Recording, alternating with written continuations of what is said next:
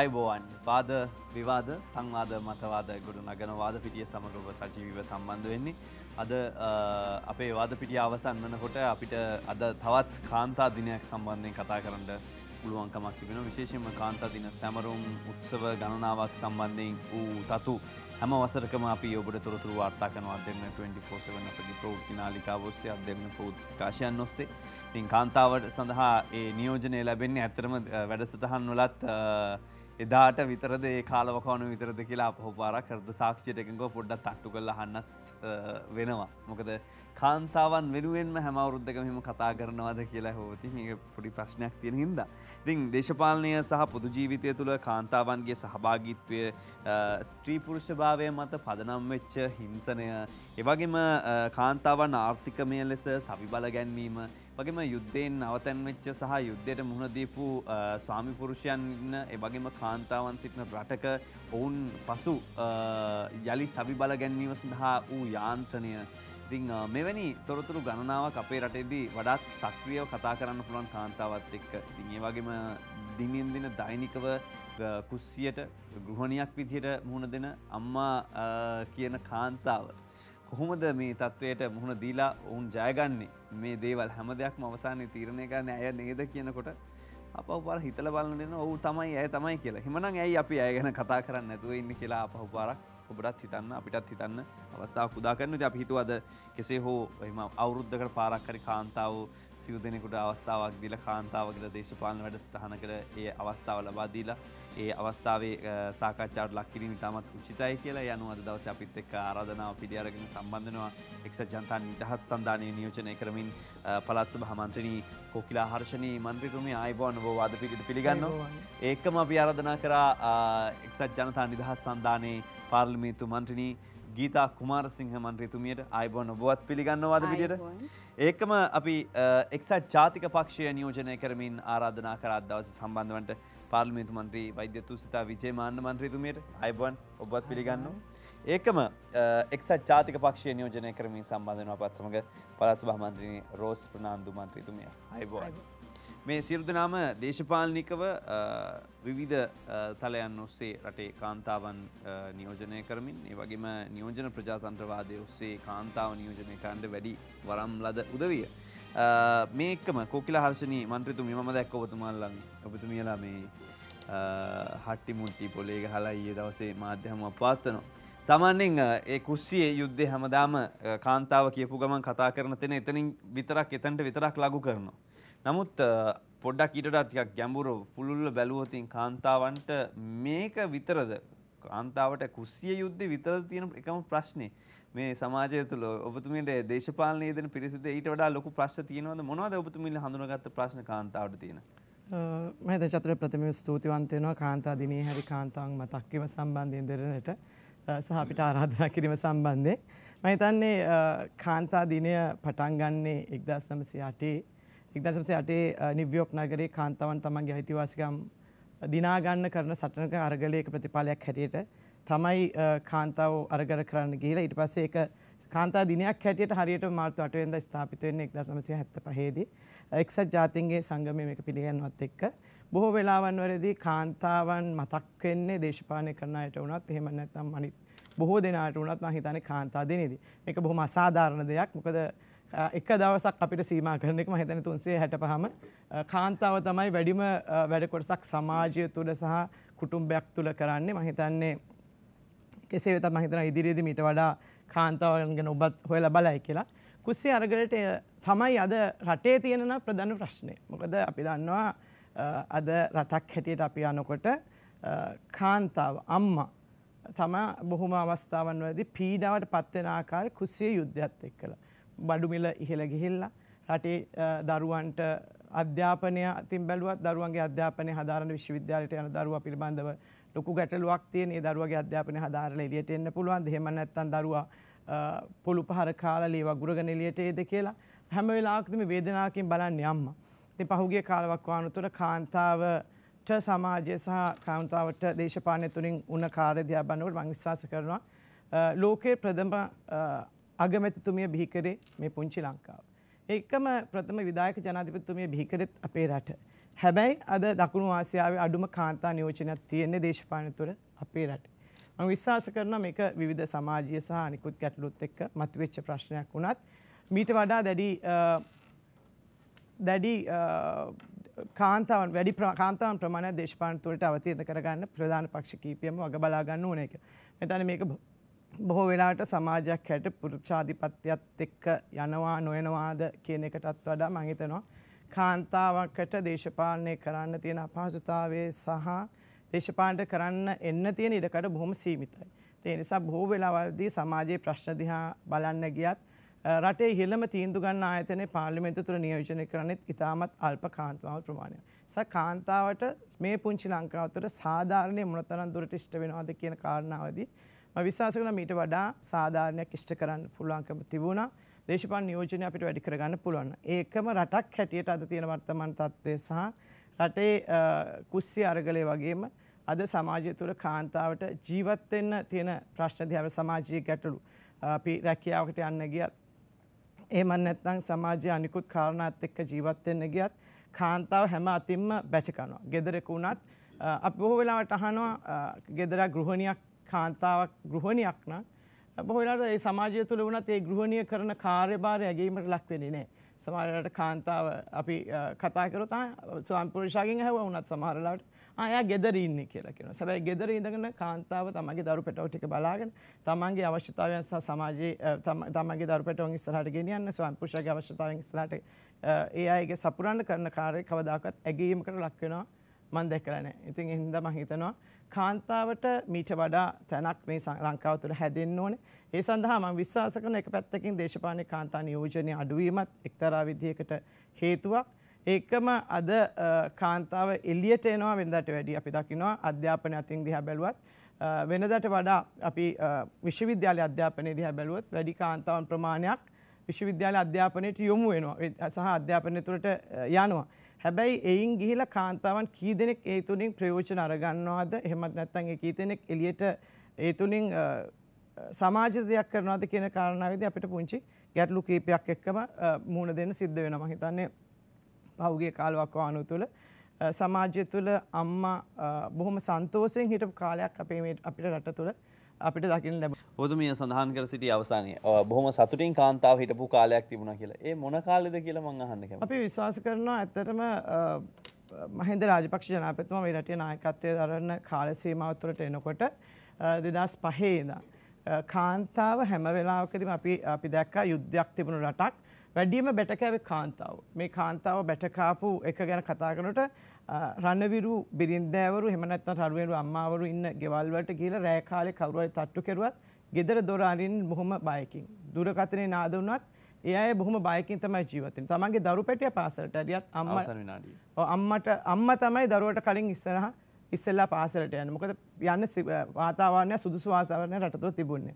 ති යුද්ධය අවසාන කරපු එක මං විශ්වාස කරන එක පැත්තෙන් දකුණට වගේම උත්තරේ දමිල ජනතාවගේට වුණත්ම හිතනවා සම අපි අහලා තියෙන අපි දැකලා තියෙන එල්ටිටි සංවිධානය දරුවන්ව බලෙන් ඒ අයගේ එල්ටිටි සංවිධානයට බඳවා ගන්න ආකාරය. එතකොට දකුණේ දමිල වුණත් ඒ අම්මත් අම්ම කෙනෙක් බොහෝ වෙලාවට තමන්ගේ දරු පැටියාව ඔක්කේ තියාගෙන ඉන්නේ අද දවසේ හෝ මගේ දරු පැටියාව එටි සංවිධානයට ගෙනියයි දෝ එහෙම නැත්නම් යුද්ධයට යොමු කරයි දෝ කියලා බයි. ඉතින් ඒ කාල සීමාව තුළ යුද්ධය අවසන් කරපු එක කාන්තාවන් විශාල ශක්තියක් වුණා. ඒ විතරක් නෙමෙයි අම්මා මුල් කරගත්ත කුටුම්බයක් තුළ ආර්ථිකය ශක්තිමත් කරන විශාල වැඩපිළිවෙලක් ඒ කාලය තුළ ක්‍රියාත්මක වුණා. එයා මම හිතන්නේ අපි ඉදිරියට කතා කරමු ඒ ඉතියි සහ ඒ ගැන තියෙන මේවා ටික. මෙහෙම ස්තුතියි. ඒ කතාවත් එක්ක අපි ඔබතුමියට රොස්මන් මහත්මිය යොමු වුණොතින් ආණ්ඩු මාරුවත් එක්ක යහපාලනය සඳහා ගිය අවුරුද්දේ මට මතකයි ජනාධිපතිතුමා ජනාධිපතිතුමා ප්‍රකාශනය කිව්වේ කාන්තාව තුළ ඇති කරනවා යහපාලනය තුළ සාන්තාවටත් මේ යහපාලනය දැනෙන්නට ඕන කියලා ජනාධිපතිතුමාගේ පණිවිඩය වල තිබුණේ. ඒ යහපාලනය කොහොමද වර්තමාන ගෙවුණු ආණ්ඩුවටත් මේ ආණ්ඩුව තුළ ඇති වෙලා තියෙන්නේ කියලා මම දැනගන්න කැමතියි. පළමුකොටම අපි ස්තුතිවන්ත වෙනවා අද දවසේ කාන්තාවන්ව මතක් කරලා විශේෂයෙන් මේ වැඩසටහනට ආරාධනා කිරීම ගැන එක මං කියන්න ඕනේ යහපාලන රජය කාන්තාවගේ කටයුතුකුවට සම්බන්ධ වෙන්නේ කොහොමද කියලා අපි විග්‍රහයක් කළොත් අපි දේශපාලන පක්ෂයකට එක ආණ්ඩුවකට මේ කාන්තාවන්ගේ ක්‍රියාකාරකං ලඝු කරන්න සූදානම් වෙන නැහැ. නමුත් අද අපි දකිනවා පෙරදාට වැඩිය කාන්තාව බොහොම නිදහස්ව ඒ වගේම ස්වාධීනව කටයුතු කරන්න පුළුවන් වාතාවරණයක් රට පුරාම ඇති වෙලා තියෙනවා. අද පරිපාලන ක්ෂේත්‍රවල ඒ වගේම රජයේ ආතනවල විශේෂයෙන් ගත්තොත් කාන්තා නියෝජනය බොහොම ඉහලින් තියෙනවා. ඒකම අධ්‍යාපනය ලැබපු පිරිස්වලට තමන්ගේ සුදුසුකංවලට ඒ රැකියා අවස්ථා ලබාගන්න ඒ ස්ථාන ගතවීමේ හැකියාව අද ඉතාම පුළුල් වෙලා තියෙනවා. එක වකවානුවක් ඇත්ත වසෙන්ම අපතින් කනගාටුවෙන් මතක් කරන අවස්ථා තියෙනවා සමහර සුදුසුකන් තිබුණත් එහෙම නැත්තම් කාන්තාවන්ට හැකියාව තිබුණත් ඉස්සරහට යන්න අවස්ථාවක් ලැබුණේ නැහැ. එක වකවානුවක් අපි දැක්කා විභාගයක් පවා තියෙද්දී එක කාමරයකට ගොටු කරලා විභාග තියෙන කාලකුත් තිබුණා. ඉතින් එතනත් ඒ කාන්තාව ඒ විභාගවලට පෙනී හිටියා. ඉතින් එවැනි වකවානු පහු කරලා අද සමබර ස්වාධීන වාතාවරණයකට රට ඇවිල්ලා තියෙනවා. මෙතනදී අපි කාන්තාව විශේෂයක් කරලා කතා කොළොත් මං හිතන්නේ ඒක එච්චර සාධාරණ වෙන්නේ සමා අයිතිවාසිකම් කියන්නේ පිරිමි පාර්ශ්වයට සහ කාන්තා පාර්ශ්වයට එක විදිහ තමයි පුරවැසි අයිතිවාසිකම් ලැබෙන්න ඕන. නමුත් අපි දකිනවා සියයට පනස් දෙකක් වන කාන්තා ජනගහනය නියෝජනය කරනකොට පාර්ලිමේන්තුව මහිතන්නේ සියයට පහයි කාන්තාව නියෝජන වෙන්නේ. පළත් සභා නියෝජන වෙන්නේ තුනයි දසම අටක් වගේ ප්‍රමාණයක්. පළත් පාලන අයතනවල මේ පුංචි මන්ත්‍රීවරු ඉන්න හරදහක් පමණ එකයි දසම නමයක් පමණ තමයි කාන්තාව නියෝජනය කරන්නේ. එතනද අපි දකිනවා මේ ආසියාතික රටවල් වල මේ කාන්තාව දේශපාලනය තියෙන නැඹුරුව ඉතා මඩුයි. ඉතින් යහපාලනය අද උත්සාහ කරනවා සීමා නිර්ණ කටයුතු කරලා ඒ කොට්ටාසයට මන්ත්‍රීවරෙක් පත් කරන වැඩ කටුත් ඔස්සේ කාන්තාවට සීට විසි පහ නියෝජන දීලා ගම්මල ඉන්න දක්ෂතා තියෙන පොදු ජනසේවට හැකියාවත් තියෙන අයව ඉස්සරහට ගෙනල්ලා රාජ්‍ය පරිපාලට උන් දායක් කරගන්න විශේෂ වැඩ පිළිවෙලක් මේ රජය තුළ තියෙනවා. මගේ දැන මේ කතිකාවකට භාජනය වෙලා තියෙනවා. මංහිතන්න ඒකට කවුරුත් විරුද්ධ නෑ. මේ සීට විසි පහක් කාන්තාවන්ට අවස්ථාව දීම කියනකට විරුද්ධත්වයක් නැහැ. මේ යෝජනා සියල්ලටම දායකත්වය දැක්වා විශේෂෙන්ම අපේ අග්‍රාමාතරයෙන් වික්‍රමසිංහ මැත්තුමා එතුම විශේෂයෙන් තරුණයෙන් කාන්තාවන් මේ කියන දෙපාර්ශයටම වැඩි අවස්ථා රජයෙන් ලබා දෙන්න විශේෂ උත්සාහ ගන්න කෙන කැරයට අපි විශේෂෙන් මතක් කරන්න ඕන මේ අවස්ථාවේ. අපි දකිනවා කුමන පක්ෂයකින් හෝ වේවා කාන්තාව හෝ තරුණයා හෝ වේවා ඒ අයට නිසි පිළිගැනීමක් ඇගීමක් දෙනෝ නම් එක අපි අගේ කරනවා. ඇත්ත වශයෙන්ම කුමට පක්ෂකින් මේවා අද අපි දකිනවා මේ යහපාලනය තුළ එදා තිබුණු භීෂණයක් හෝ පොලිසි අතර ගැනීමක් හෝ රාජ්‍ය පරිපාලනය තමන්ට නතු කර ගැනීමක් එහෙමනත්තං විනිශ්චකාරවරුන් තමන් පාලනය කිරීමක් වැනි තත්ත්වයන් අද දකින්න නෑ අද බොහෝදුරට පක්ෂයක් පාටක් එමනත්තං කාන්තා පුරුෂ බේදයක් නැතුව හැමෝට මැක විදිට නීතිය ක්‍රියාත්මක වෙනවා. අපි ඒක සන්තෝසයි. අපිට කියන්න පුළුවන් මහ ජනතාවට මේ තියෙන අවස්ථාවෙන් අද උපරිම ප්‍රයෝජන ගන්නන විශේෂයෙන්ම කාන්තාවන්ගේ නියෝජනයක් කරන අපි දේශපාලන අයිකවන් හැට අපි සිල් දෙනම් බලාපොරොත්තු වෙනවා. මේ කාලය තුළ පුළුවන් තරන් අවස්ථා සපයලා දෙන්න. ඒ දක්ෂතා තියෙන කාන්තාවට ඉස්සරහට එන්න. ති අපි ඒ මඟ පෙන්වීම ලබාදීගෙන යනවා. අපේ බලාපොරොත්තු වෙනවා ඉදිරි අනාගත කාලසීමාව තුළ අපේ උපරිමෙන් කටතු කරලා මේ කාන්තාවන් මේ පරිපාට ෂේත්‍රවට රාජ්‍ය ෂේත්‍රවට ගෙනල්ලා රට ඉස්සරහට ගෙනියන්න පුළුවන් බඩ පිළිවෙලකට දායක කරගන්න. ඔබතුමියගේ පක්ෂය තුළ දැන් සාමාන්‍ය මේක පොදුවේ කාන්තා ඔක්කොමයි හැම පක්ෂයකින්ම 125ක් කරන ඒක යෝජනා කියලා හොඳයි.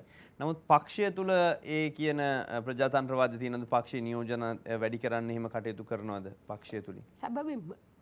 දැන් අත වශයෙන්ම මම ගත්තොත් මම දේශපාලන පවුලකින් ආප කෙනෙක් නෙමෙයි මගේ හැකියාව එමටත් පොජ්ජු දල සේවාවන් දිහා බලලා නාගතුමා ආරාධනා කර චන්දර ඉදිරිපත් වෙන්න. ඉතින් පළමු අවස්ථා ජයග්‍රහණය කරන්න අම්බුණ දෙවනි අවස්ථාව ජයග්‍රහණය කරන්න අම්බුණ පළාත් සභාධ්‍යයනටත් අපි කටයුතු කරගෙන යනවා.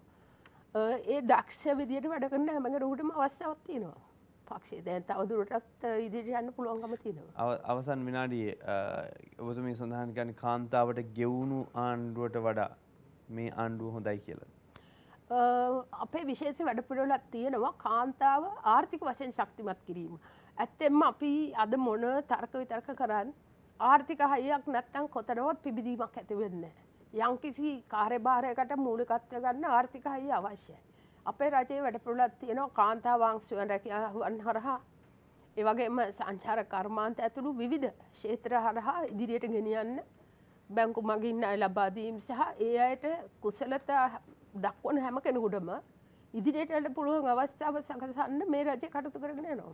මෙහෙම ස්තුතියි ඒ අදහස් දැක්වේ රෝස්පනන්දු මන්ත්‍රතුමිය කාන්තා දිනයක් සමරණ මොහොතක පවතින දේශපාලන තත්ත්වය පිළිබඳව අපේ සාකච්ඡාවේ ඉදිරියට ගමන් කරමින් ඉන්නේ. දේශපාලනය තුළ කොහොමද අපිට ඒ අවස්ථාවන් ලැබිලති ඒ වගේම තියෙන දේශපාලනය කාන්තා ඇසකින් කොහොමද දකින්නේ. අපි බලාගෙන යන්නේ තින් කෙසෙ නමුත් ගීත කුමාරසිංහ මහත්මිය තැන් අවස්ථා දෙකකදීම අපි සඳහන් කලා මේ කාන්තාවට තියෙන තැන දේශපාලන නියෝජනය මේ දේවල්. ඇත්තරම දැන් ආණ්ඩුවක් විදිහට බලයට පත් වනාම හැම ආණ්ඩුවක්ම කාන්තා වෙනුවෙන් ඔවුන් ප්‍රතිපත්ති ප්‍රකාශයන් තුළ වැඩි ඉඩක් දෙනවා. නමුත් ප්‍රශ්තිතියන දියුණට කොච්චරක් ඉෂ්ට කරනවද කියන කාරණය. ඔබතුමියලගේ කාලේ තව මීටඩා දෙයක් වෙන්න තිබ කියල හිතන්න නැද්ද කාන්තාව වෙනුවෙන් එහෙම උනානන් කාන්තාවගේ තව දුර හිද්දිනාගන්න තිබ්බ කියල හිතන්න නැද්ද. අනිවාර්යෙන්ම කියන්න ඕන මේක මුලින්ම මම දෙර නාලිකාවට ස්තුතිවන්ත වෙනවා අවුරුද්ධකට සැරයක් හරි අපි ගෙන්නලා අපි පුදුමාකාර විදිර මේ දවස් කීපේ මතක් වෙනවා හැම නාලිකාවකට. මොකද කාන්තා තියෙනවා කාන්තාව ගැන කතා කරන්න කියලා. ඇත්තර මම විශ්වාස කරන මං ඉල්ලා හිටිනවා පුළුවන් තරම් අපිට ඉඩකඩ ලබා දෙන්න කාන්තාවන්ගේ ප්‍රශ්න ගැන මේ ඉදිරියටත් කතා කරන්න. මොකද ජනතාව විසින් අපිව තෝරලා පාර්ලිමේන්තුවට ඇරයේ පාර්ලිමේන්තුව තුළත් එලියෙත් හැම දෙයක් ගැනම සොයල බල්ල කතා කරන්න. නමුත් ඒ කතා කරන්න ලැබෙන අවස්ථාව හරිම අල්පයි. ඇතරම් පාර්ලිමේන්තුව වුණත් අපට කතා කරන්න අවස්ථාවක් හරිට ලැබෙන්නේ නෑ විනාඩි පහක් දෙනවා ඒ විනාඩි පය කටාරින් ඉස්සර එක ඉවරවට යනවා. ඒ කොහොම වුණත් ඔබතුමා ආපු ප්‍රශ්න ඉතාම් වැදගත් ප්‍රශ්නයක්. මේ රටේ මම මේක නොකිය මට මේක පටන් ගන්න බැරි නිසා මම මට ඉඩ දෙන්න මේක කියන්න. තිස් අවුරුද්දක් පුරා මේ රටේ තිබිච්චේ මහා විනාශකාරී යුගය අවසන් කරලා කාන්තාවට සැනසුම් සුසුම් හෙලන්නට අවස්ථාව ලබා දීපු යුගයක ආරම්භයේදීම තමයි මේක නැති වෙලා ගියේ. නමුත් අද අපේ රට සාපරාධී රාජ්‍යයක් බවට පත්වෙමින් පවතිනවා. ඒක අපේ ඇස්පනා අපිට අපි දකින දෙයක් වෙලා තියෙනවා. අද සිරකරුවෙකුටවත් අඩුබතරමින් ආරක්ෂාව ලබා දෙන්න බැරි. හරියට අර මේ රටේ දැන් ඇත්තරම දෙමළ චිත්‍රපට තියෙනවා. දෙමළ කියලා කිව්වට ඒක මම අපහාසකට කියනවා නෙවෙයි. ද්‍රවිඩ චිත්‍රපට. මේක. දැන් පෙන්වන චිත්‍රපටි. අද අද වාරණයකින් තොරව ක්‍රියාදාම චිත්‍රපටි. ඉතාම පහත් ගණයේ චිත්‍රපටි පවා මේ රටේ ප්‍රදර්ශනය වෙනවා. ඒවා ආభాෂයට ගෙන දෝ මේ පාතාල කල්ලි විසින් මෙහෙවන. බොහෝ විට ඒ පාතාල කල්ලි අපි සියලු දෙනාම දන්නවා. ඒ පාතාල කල්ලි මෙහෙවීමේ පිටුපස යම් යම් දේශපාලන හස්තයන් තිබෙනවා. ඒ නිසාම මේ රට අද සාපරාධී රාජ්‍යයක් බවට කෙමින් කෙමින් පත්වෙමින් තිබෙනවා. අද දූෂණයට ලක්වෙච්ච කාන්තාව දෙදහක් ඒ වාර්තා අනුව එහෙම තියෙනවා මේ කාලය තුළදී. ඊටත් අමතරව මිනීමැරු මංකොල්ල කෑම් දවසින් දවස වැඩිවෙමින් අර විදිහ සාධාරණ විදිහට රට රටේ තිබිච්ච විශාලම ප්‍රශ්නය නිරාකරණය කළා සංවර්ධනය කරා ඉස්සරහට යමින් කාන්තාවට ඩිසි රැකවරණය ආරක්ෂාව ලබා දෙමින් තිබූ රටක් මේ විදිහට පෙරලීම ගැන අපිට බය නැතුව අපි කෙලිම ඇගිල්ල දික් කරනවා මේ පවතින රජයේ තියෙන දුර්වලතාවය නිසා මේ දේවල් සිද්ධ වෙනවා. මම දන්නවා ආර්ථික වශයෙන් ආර්ථික වශයෙන් අද කාන්තාවකට අඩුගානේ සම්බෝලයකුයි බතුයි කන්න ලුණු මිරිසකුයි බතුයි කන්න ඕන්නම් මොකද වෙලා තියෙන්නේ? හාල් කිලෝ එකක් රුපියල් 100යි පොල් ගෙඩියක් රුපියල් 100යි ලුණු කිලෝ එකක් රුපියල් 100යි අඩුතරමින් ලුණු මිරිසුයි බතුයි කන්නවත් මේ රටේ කාන්තාවට ඉඩ හදලා දීලා නැහැ. කැඳ බොන්නවත් බෑ. කැඳ තුන්වේල කැඳ බොන්නත් ඊට වැඩියමද? අත්තමකට වැඩ කරන කම්කරු කාන්තාවකට. එක පැත්තකින් එයගේ ආරක්ෂාව. පොලිසියට ගිය පුතා ගෙදර එයිද නැද්ද කියලා හදිසියකටත් පොලිසියට ගිරිචොත් තමන්ගේ සැමියාව ඒ බිරින්දා බලාගෙන ඉන්න මේ කාන්ත මේ මගේ පුරුෂයා අද ගෙදර එයිද කියලා. මේවා හුදකලා සිදුවෙන්නේ මේ ඔබතුමියලා ගාණ්ඩු කාලේ සමහර සිදුවීම් වැනි දේවල් ඇති වුණා. මීට මේවා එන්න එන්නම දැන් දරුණුම තත්යකට පත් වෙලා තියෙනවා. මීටත් වඩා දරුණු තත්යකට ඉදිරියේදී පත්වීමට ඇති ඉඩකඩ බොහෝමයක් කියලා මම විශ්වාස කරනවා.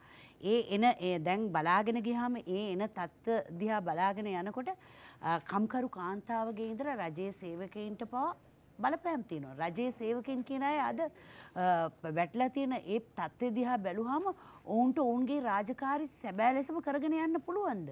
ඉහළම නිලධාරීන්ගේ සිට පහළම නිලධාරීන්ට ස- ත- තිය- අද- ද- තදබල ලෙස බලපෑම් අ, කරන අවස්ථා තියෙනවා. ඒ අයට අ, තමන්ගේ රාජකාරි කරගෙන යාමට බැරි අ, තත්ත්වයක් මේ රටේ උදා වෙලා තියෙනවා. ඒ විදිහම සරසවි ශිෂ්‍යයට ශිෂ්‍යාවන්ට පාරෙ බිමදාගෙන ගහන හාමුදුරුවන්ට සිවුරු ගලෝල ගහන. මේ සමාජයේ ඒ වගේ සප්- සාපරාධී මෙතුමිය කිව්වා මේ අපිට දැන් බොහොම සංසුන් සමාජයක් කියලා. මං හිතන්නේ එහෙම එකක් තියෙනවා කියලා අපිට දින පතාම අහන්න ලැබෙන්නේ මේ රට ක්‍ර- ක්‍රමයෙන් ක්‍රමයෙන්. අර චිකාගෝ එහෙම නැත්නම් ඇමරිකාවේ අර හෝ අ, වෙනත් රටක තියෙන ඒ භයානක තත්ත්වයට කිට්ටුවෙමින් නැත්නම් උසාවිවලට අවි අරගෙන යනවා. බොහොම පුංචි දෙයකින් ඒවා වැලකිලා තියෙන ඒ වගේ මධ්‍ය මද්‍රව්‍ය ජාවාරම. අද බලාගෙන ඉදිදිහලට නොයෙක් වර්ගේ මද්‍රව්‍ය මේ රටට ගලාගෙනමින් තියෙනවා. ඒවා අපි පුවත්පත්වලින් හැම එකෙම කියවනවා. ඒවාට ගොදුරුවෙන්නේ අපේ දරුවෝ. එහෙමනම් ඒ දරුවන්ගේ විනාශය ඉදිරියේදී අසරණ වෙන්නේ අම්මා. ඒ අම්මට අම්මට ආර්ථික වශයෙන් ලැබිලා තියෙන මහා දඬුවම පට්ටපල් බොරු කියලා කියලා කියලා කියලා මේ ආණ්ඩුව ගත්තා. මොනවද කිව්වේ මොනවද නොදෙනවා කිව්වේ කාන්තාවට ඒගොල්ලන්ගේ රත්තරන් බඩු ටික බේරලා දෙනවා කිව්වා. යන්න වාහන හදිගස්සලා දෙනවා කිව්වා. උම්, තව මේවා ගන්න මේ ස්කූටර් ගන්න දෙනවා කියලා කිව්වා. මේ කියපු හැම බොරුවකින්ම රැවටුනේ මේ රටේ කාන්තාව. වැඩිපුරම ඡන්ද බලය තියෙන මේ රටේ රටක් පෙරලන්න පුළුවන් කාන්තාවට බව අපි ඔප්පු කරන්න සූදානම් විය යුතුයි. මොකද මේ රටේ වැඩි ඡන්ද බලයක් තියෙන කාන්තාවටයි මේ සියලු අපි මේ රටේ කාන්තාව දේශපාලනයට යොදාගන්න යොදාගෙන තියෙන නිකන් මල් පෝච්චියක් එහෙම නැත්නම් ලස්සන කරන්න තියෙන භාණ්ඩයක් හැටියට විතරක් නෙවෙයි. අනිවාර්යෙන් මේ රටේ කාන්තාවන් වෙනුවෙන් පෙනී ඉඳමින් මේ කාන්තාවන්ගේ දුක් ගැනවිලි ගැන කතා කළ යුතු අවස්ථාවක් මේක. මේ අවස්ථාවේදීත් අපිට කටපියාගෙන ඉන්න පුළුවන්කමක් කොහෙත්ම නැහැ ආර්ථික පසුබෑම ඩොලර් එක එකසිය පණහට නැගලා තව මං හිතන්නේ ඉදිරි කාලෙදී 170ට විතර යන්න පුළුවන්. පිටරට රස්සාවල් වලට ගිහිල්ලා ඉන්න කාලය කාන්තාවන්ට අවසන්. පිටරට කාන්තාවන්ට දීලා තිබි දෙන්න අයවැන් යෝජනා වෙච්ච තුන්සිය පණහ ඩොලර් තුන්සිය පණහ අවම වැටුප කප්පාදු කරන්න තරම් ඒ නමම කියල මම කියනවා තලතා අතුකෝරාල ඇමතිතුමිය ගත්ත තීරණය ලැජ්ජා සහගතයි. ඒකැන අපේ කාන්තාව පිටරට ගිහිල වහල් සේවයට ගිහිල්ලා ඕනෑම්. ගානක් හොයාගෙන එන්න ඒ අයට රස්සාවල් වැඩිපුර ඕන නිසා ඒ තත්ති කරයි කියන කතාව ඇහවා මනං කම්පාවට පත් වුණා. හාරසිය වෙනම පණහක් ස්තුතියි. ඩොලර් ලබාදිය යුතුයි කෙනෙක මම අවස්ථාව චෝද අපි දෙවනට සාදුට සාකච්ඡා කරම. තුමියත් මේ ස්ථානය නැහැ. නමුත් මං හිතනවා එම, අ, පක්ෂ නියෝජන කරමින් හිද ඔබතුමියලට මේ සමඳ පිළිතුර ලබා දෙන්න පුළුවන් වෙවි කියලා. තුස විජමාන් මන්ත්‍රතුම ඔබතුමල බොරු කියලා කියලා කියලා ගත්ත ආණ්ඩුවක් කියල තමයි මෙතුමිය චෝදන එල්ල කර සිටිය. දැන් මේ ජනවාරි අටවැනිද ඔය කිව්ව වගේ රත්තරම් බඩු බේරල දෙන සිහිනය වැනි සිහින ටිකක් තිබුණා හැබැයි සිහිනවලට එක පාර මොනහරි අමතකුණාද ඒව කෙරමින් පවතින මොකක් ඇත්තරම වෙලා තින්නේ ඒවගේ ප්‍රගතිය කොහොමද? ප්‍රථමයෙන්ම චතුර මම ස්තුතිවන්ත වෙනවා. ජාත්‍යන්ත්‍ර කාන්තා දිනට සමගාමීව කාන්තාවන්ට අවස්ථාවක් ලබාදීම පිළිබඳ. දෙරනාරිකාවෙන් හරි. මහිතන අද නිරතුරුවම මේ සතියම කාන්තාව හොය හොයා මහජනයුත්තර හොය හොයා අපිට කාන්තාදිනය සමරණ මුහතේ කාන්තාවන් ගයිදවස්කම් ගැන කතා කරන්න එන්න කියලා ආරාධන ලැබෙනවා. ආ, ඉතින් මම හිතන්නේ ඉස්සෙල්ලාම චතුර අපිට කියන්න තියෙන්නේ ආ, මේ රජය ආ, පහුගි- අපේ රජය බලයට පත්වෙන්න ආ, පහුගිය රජයේ තිබිච්ච ඒ ආ, ඇතිවෙච්ච කාන්තාවන්ට ඇතිවෙච්ච පීඩනය ගැන කතා කරන නම් මහිතන ඉස්සෙල්ලාම ආ, මම කියන්න ඕනේ ආ, කාටත් මතක ඇති අග්‍රවිනිශ්චකාරතුමියට කරපු අසාධාරණය. මම හිතන්නේ අ, ඒතනින් පටන්ගත්ත ඒ අ, කාන්තාවන් තුළ තිබිච්ච අ, ඒ තිබිච්ච ඒකන අභිමානය අ, විනාස කරලා එතනින් පටන්ගත්ත ඒ ක්‍රියාදාමය තුළ තමයි මංහිතන්නේ ජනතාව පෙළ ගැවුණේ. විශේෂයෙන්ම චතුර මට කියන්න ඕනේ අ, මම දැක්කා අ, ඒ අ, කරුණුකාරණාවත් එක්ක අ, පහුගිය රජයේදීති ඒ අග්‍රමිෂ්ඨ කාරතුමේල තිබිච අසාධාරණයත් එක්ක නීතිීඥවරියන් පෙළ ගැහුණ. එකන්නේ රටේ එක්තරා බුද්ධිමත් කොටසක් මේ රජයේ පෙරලෙනවා කියන එකට ලොකු කාර්ය භාරයක් කර ම හිතන්න එතෙන්දි ඒ අවස්ථාවේදී අ, පොරොන්දුවලටවත් අ, යම් කිසි ප්‍රතිලාවලටවත් නෙවෙයි ජනතාව පෙළ ගැහුණේ දිගින් දිගටම තිබිච්ච ප්‍රජාතන්ත්‍රවාදය අ, විනාශ කරන තත්ත්වයක් ඇ- දැක්ක නිසා. ඉතින් මම මේ අවස්ථාවේදී විශේෂයෙන් කියන්න ඕනේ අ, කොහොම කවුරු කතා කරත් අද මේ වෙනකොට අපිට මාධ්‍ය නිදහස් තියෙනවා. පාරි බැහල යන්න පුළුවන් තියෙනවා කතා කිරීම නිදහස් තියෙනවා. එතකොට සුදු වෑන් සංස්කෘතිය කියලා එකක් තිබ්බා.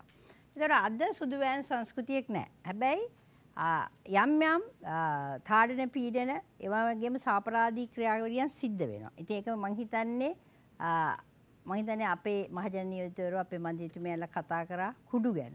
එතකොට කුඩු කියන එකට මුල් වෙච්ච ඒ වගේම අදරුණු අපරාධකාරයින් පෝෂණය කරේ ආ, මං හිතන්නේ මේ වකවානුවේ මේ අපි බ- බලය ලබා ගත්ත රජය නෙවෙයි.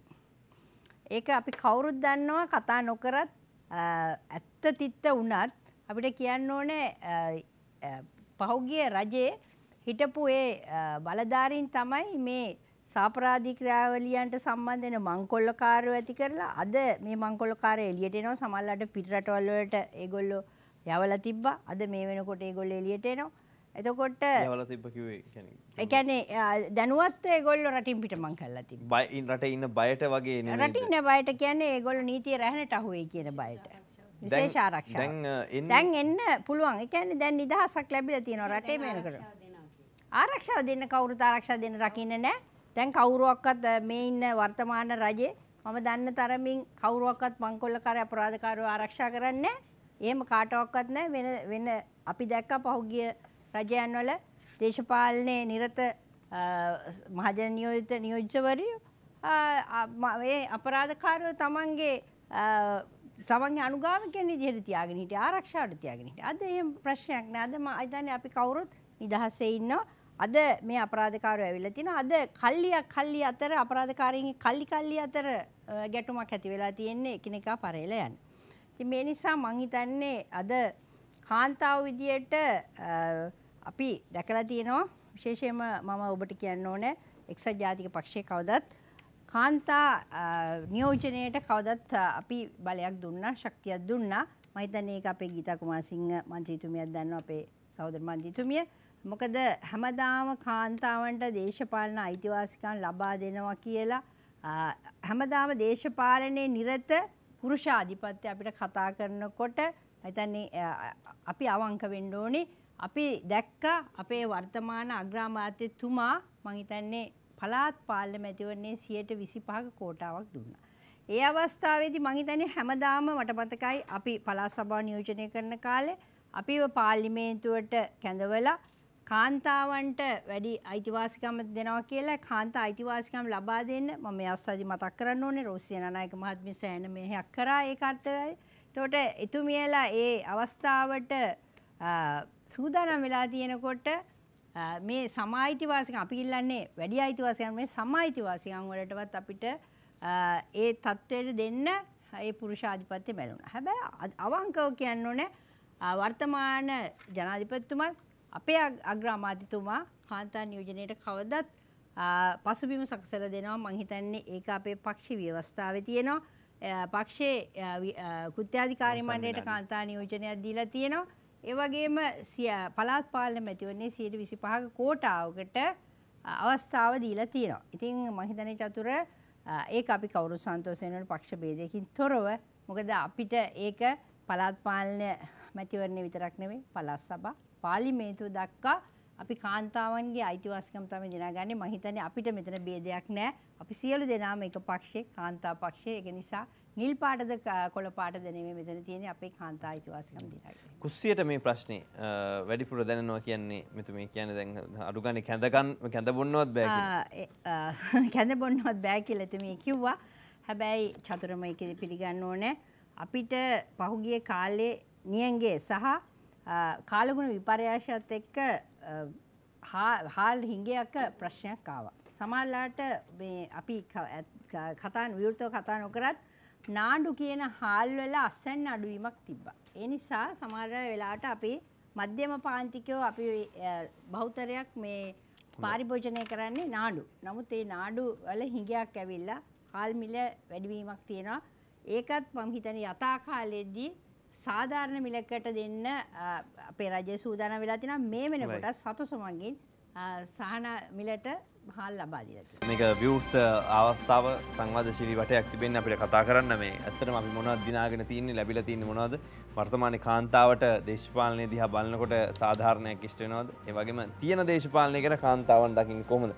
දැන් මේ පළමු වටේදී කතා වුණා අපි සමස්තයක් විදිහට කෝකිලා මන්ත්‍රතුමිය මේ සාමාන්‍ය කරපු දේවල් නොකරපු දේවල් ගැන කතා වුණා නමුත් අ, මේ ආණ්ඩුවට ඔබතුමිලගේ ආණ්ඩුවට යන්න උනේම ඔබතුමිලගේ කාන්තාවන්ට ඒ නිසිතැන් ලබන හිටපු අග්‍ර විනිශ්චකාර්තුමයගේ සිදුවීම වගේම වෙනත් සිදුවීම් එක්ක තමයි කියලායි මෙතුමිල සඳහන් කරේ. ඉතින් හොද කලා සිදුවීම වුණත් ඇත්තටම ටිකක් බලාගෙන ඉන්නකොට කාන්තාවන්ට යම්කිසි අසාධාරණයක් සිදු වෙලා තියෙනව නේද කියලා හිතනවා එවැනි සිද්ධීන් එක්ක. ඉතින් අ, අද අපහු හැරිලා බලනකොට දුකක් නැද්ද ඒ වගේ සිද්ධි ගැන. චතර ඇත්තටම මේ හිටපු අග්‍ර විනිශ්චකාරතුමගේ සිද්ධීම දිහා බලනකොට යහපාලන ආණ්ඩුව බලයට එන්නේ අ, තිබුණු රජයේ අඩුපාඩුකම් නිසා කියල මෙතුමේලා කියනවානේ. එතවට හිටපු අග්‍ර විනිශ්චකාරතුමේ සිරාරි පණ්ඩාරනායක මැතිනිය එම තනතුරින් ඉවත් වෙන්නේ අ, මහින්ද රාජපක්ෂනාත්මනගේ පෑනකින් සහ තීන්දුවකින් නෙමෙයි. එතුම ඉවත්වන්නේ පාර්ලිමේන්තුවේ අනුමත වුණු තුනෙන් දෙක බලයකුත් එක්ක තමයි එතුමිය නීතියානුකූල විදිහට ඉවත් වෙන්නේ. හැබැයි මොහාන් පේරිස් එතුමගේ පස්සේ පත්වේට මොහන් පිරිස් අපේ අග්‍රවනිශ්කාරතුමා. අපේ වර්තමාන ජනාපතුමා මී ඒ පෙරේද මන් දැක්ක ප්‍රකාශයක් කරනවා. ඇවිල්ලා මොහන් පිරිස් එතුමාව හම්බවෙන්න ගෙදට දෙපාරක් කාපුහිද මං ඇවයින් කරා කියලා. තුළ මේක අති තමන්ත බරපතර ප්‍රකාශයක්. අපි ශිරාණි බණ්ඩානායක මැතිනිය නීත්‍යානුකූලව පාලිමෙන්ති තින්දුවක් එක ඉවත්වෙන වගේම මොහන් පිරිස් ඉවත්වෙන්නේ කිසිම නීතියනුකුල පදනමකින් නෙමේ. තොර එතුමා කියන මුහන් පිරිස් මැත්තුමා දෙපාරක් හම්බවෙන්න ආපු නිසා එතුමාව තොරතරින්වත් කති මේක යහ පාලනයද මේක යහ පාලනයද ඒක එක කාරණාව අනිත් එක තමයි මෙතුම උත්තර දුන්න අරබතුමාගේ ප්‍රශ්නයට රත්තරම් බඩු බේරගත්තද මොනවද වනේ කාරක ගත්තද කියලා. ඇතටම මේ ආණ්ඩුව බලයට එන්න මේ රටේ තියෙන සියලු බේගල් අත්හැරල්දම. මේ බලය ගන්න බලයට තියෙන කෑදරකමට මේ ලෝකයේ තියෙන සියන්න පුළුවන් මිනිස්සු රබට්ටන්න පුළුවන් මොනාද හැම දේමකිව්ව. මං ආසයි දැනගන්න මේ මන්තුතු වෙන සිපන අපහසාට පත් කරන්න මේ හැබැ මං ආසයි දැනගන්න. එක කාන්තාවක් මේ කියපු විදිර රත්තරමට බේරගත්තද. බේරගත්ත නෑ ඇයි. බේරගන්න බැරිවුණේ මේ තුමියල්ලා මැතිවරණයට පොරුන්දුවත් දෙෙන උගස්කරපු රත්තරම්පට පොලොයන් පොලියක් නැතුව බේරගන්න ඉඩ දෙනවා කියල. එවනවා චක්‍රලයකනය. ඒ චක්‍රලයකන අනුව බේරගන්න පුළුවන් කාලසිපා පහුවෙලා තමයි. එවන් එතවට බැංකුවට ගිය අම්ම ආපව් හැරිලා එනවා. රත්තරම්පට ටික ගන්න පැරු. ඒ බැංකුවට කියලා මැනේජ මාතර කතා කරන්න බොහොම සන්තෝෂයෙන් බොහොම අමාරුවෙන් දරුවෝ ටික එකතු වෙලා අම්මට සල්ලි ටික හොයලා දෙනවා ගෙන් එන ගාමේ පොලියකුත් නැහැ රත්තරම්පට ටික අරන් එන්න කියලා. බැංකුවට කියලා මැනේජ මාතර කතා කරාම කියනවා මේ මේව වෙන්දේශ කරලා ඉවරයි කියලා. ඔන්න යහ පාලනේ. මොකද තමයි යහ පාලනේ. ඒතර සුදුයන් සංස්කෘතිය මේ රටට අඳුරලා දුන්නේ අපි නෙමෙයි. සුදුයන් සංස්කෘතියක් අපේ රටේ නැති කරේ අපි. මහින්ද රාජපක්ෂගේ.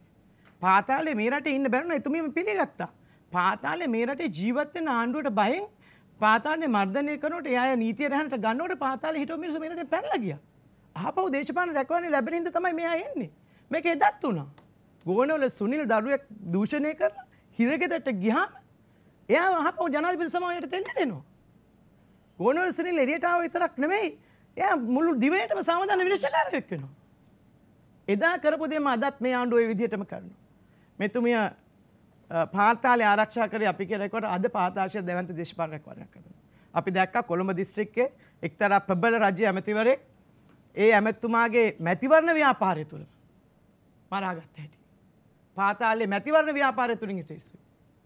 එදා ඒ ඒ පක්ෂ දෙක ඇතුළේ තිබුණු ගස්ටනේ පක්ෂ අපේක්ෂක දෙන්නෙක් අතර තිබුණු ගස්ටනේ මැතිවරණ ව්‍යාපාර තුළින් එළියෙස්සුවේ. ඒක එලියට උස්ස ඔලුව උස්සල ආපු එක තමයි මේ අද දවසින් දවස දේශපාලන රැකවරණයත් එක්ක ක්‍රියාත්මක වෙලා යන්නේ. දැන් මෙතුමිය කිව්වා අපේ ආණ්ඩුව කාලේ කුඩු තිබුණයි කියලා. තිබුණ තමයි කියන්නේ. හරි අපේ ආණ්ඩුව රැකවරණයද ඇයි අල්ලන්නේ නැත්තේ එහෙනම්? අපේ ආණ්ඩුව රැකවරණ ලැබුවේ නැහැ. මෙතුමිය ළඟ ශක්තියත් එක්ක තමයි කුඩු ව්‍යාපාරය යෙදිලා තියෙන්නේ. ඒ හින්දා තමයි අද කුඩු ව්‍යාපාරයේ හිටපු මිනිස්සු අවුරුදු දෙකක් යහපාන ආණ්ඩු දෙකමාරක් අවුරුදු යහපාන ආණ්ඩු පියවලා. අදටත් එයා නිදන් කුඩු ව්‍යාපාර මේ රටේ කුඩු අඩු වෙලාද? මේ රටේ අඩු වෙලාද කුඩු කුඩු පරිභෝජනය කරන අඩු වෙලා නැහැ.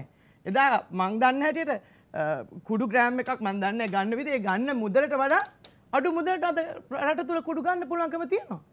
පුංචි දරුවට අර මොනවද බුලත් පිටේ එහෙම නැත්නම් බෙහෙත් පෙත්තේ එහෙම නැත්නම් අර වෙන විදිහේ බෙහෙත් එක පවා අද නිදැල්ල ගන්න පුළන් විදියට මේ රට ක්‍රියාත්මක වෙනවා. මේක තමයි භානක්කම. මේක තමයි අම්මාවරුට තියෙන ප්‍රශ්නය. මේ අය යහපානය කියලා මවාගනා පුලෝකය මිනිස්සුට දුන්නේනේ. ඇයි මැතිවරණ තියන්න ඇති චතුරමක. ඇයි මැතිවරණ තියන්න ඇති. පලාත් පාන්න මැතිවරණ තියෙන කාලසිම විවරලා අවුදු දෙක හමාර. මේ අය දන්නවනම් මේ මැතිවරණය මේක සීමානිර්ණ ඉවර කරගන්න බැලවෙනවයි මේ විදිහේ ප්‍රශ්න තියෙනවයි කියලා. ඒක ඒ වෙනකොට අපේ ආණ්ඩුව භාරතවල සීමානිර්ණය අවසන් වෙලා අපි මැතිවරණ සූදානම් හිටියේ. අපේ ආණ්ඩුව කාලේ මේ අය කිව්වා අපිට මැතිවරණ තියෙනවා වැඩි කියලා. අපි අපි මහින්ද රාජපක්ෂ ජනාධිපතිතුමා ප්‍රජාතන්ත්‍රවාදය ගරු කෙරුවා. ජනතාවට අවස්ථාවක් දෙන්න ඕනේ Tamanට කැමති ආණ්ඩුව පිටව ගන්න. හැබැයි මොකද අද යහපාන ආණ්ඩුව කරන්නේ? දෙහපාන ආණ්ඩුව කරන්න ජනතාවගේ තියෙන අවශ්‍යතාවය. ජනතාවට දැන් මේ ආණ්ඩුව එපා වෙලා. බොරු කියලා මිනිස්සු ඡන්දය දුන්න මිනිහෙක් අදහා ගන්න පුළුවන්ද බලන්න යහපාලනයට කොහෙත් ඉන්නවද කියලා? මන්ත්‍රීතුමෙලා ටික ඇමතිවරු ටික කියයි. අපේ පැත්තේ තනතුරු අරන් ඉන්න ඇමතිවරු ටික කියයි. අපි හොරෙන් හරි උදව් කෙරුවයි කියලා. එයානේ ගමට ගිහින් අහලා බලන්න චතුර.